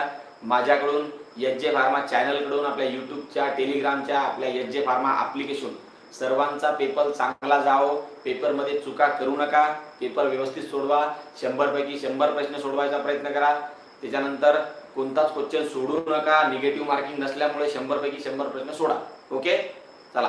पुन्हा एकदा सांगतो आपली जी टेस्ट सिरीज आहे अजून काही विद्यार्थ्यांनी जर घेतली नसेल तर प्रॅक्टिस करायची असेल तर जी एकशे पन्नास रुपयाची टेस्ट आहे ती फक्त शहात्तर रुपयात म्हणजे पंच्याहत्तर रुपयात तुम्हाला पडेल. त्यामध्ये वीस टेस्ट मी टाकलेला आहे जेणेकरून त्याच्यातला जर एखादा प्रश्न आला तर तेवढा तुमचा फायदा होऊ शकतो. ती जर घेतली नसेल ती त्याच्यामध्ये वीस टेस्ट सिरीज ते टाकलेले आहेत मी तर ती तुम्ही घेऊ शकता.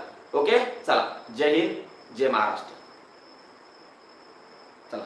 बाय करा आराम आता. स्टडी करा.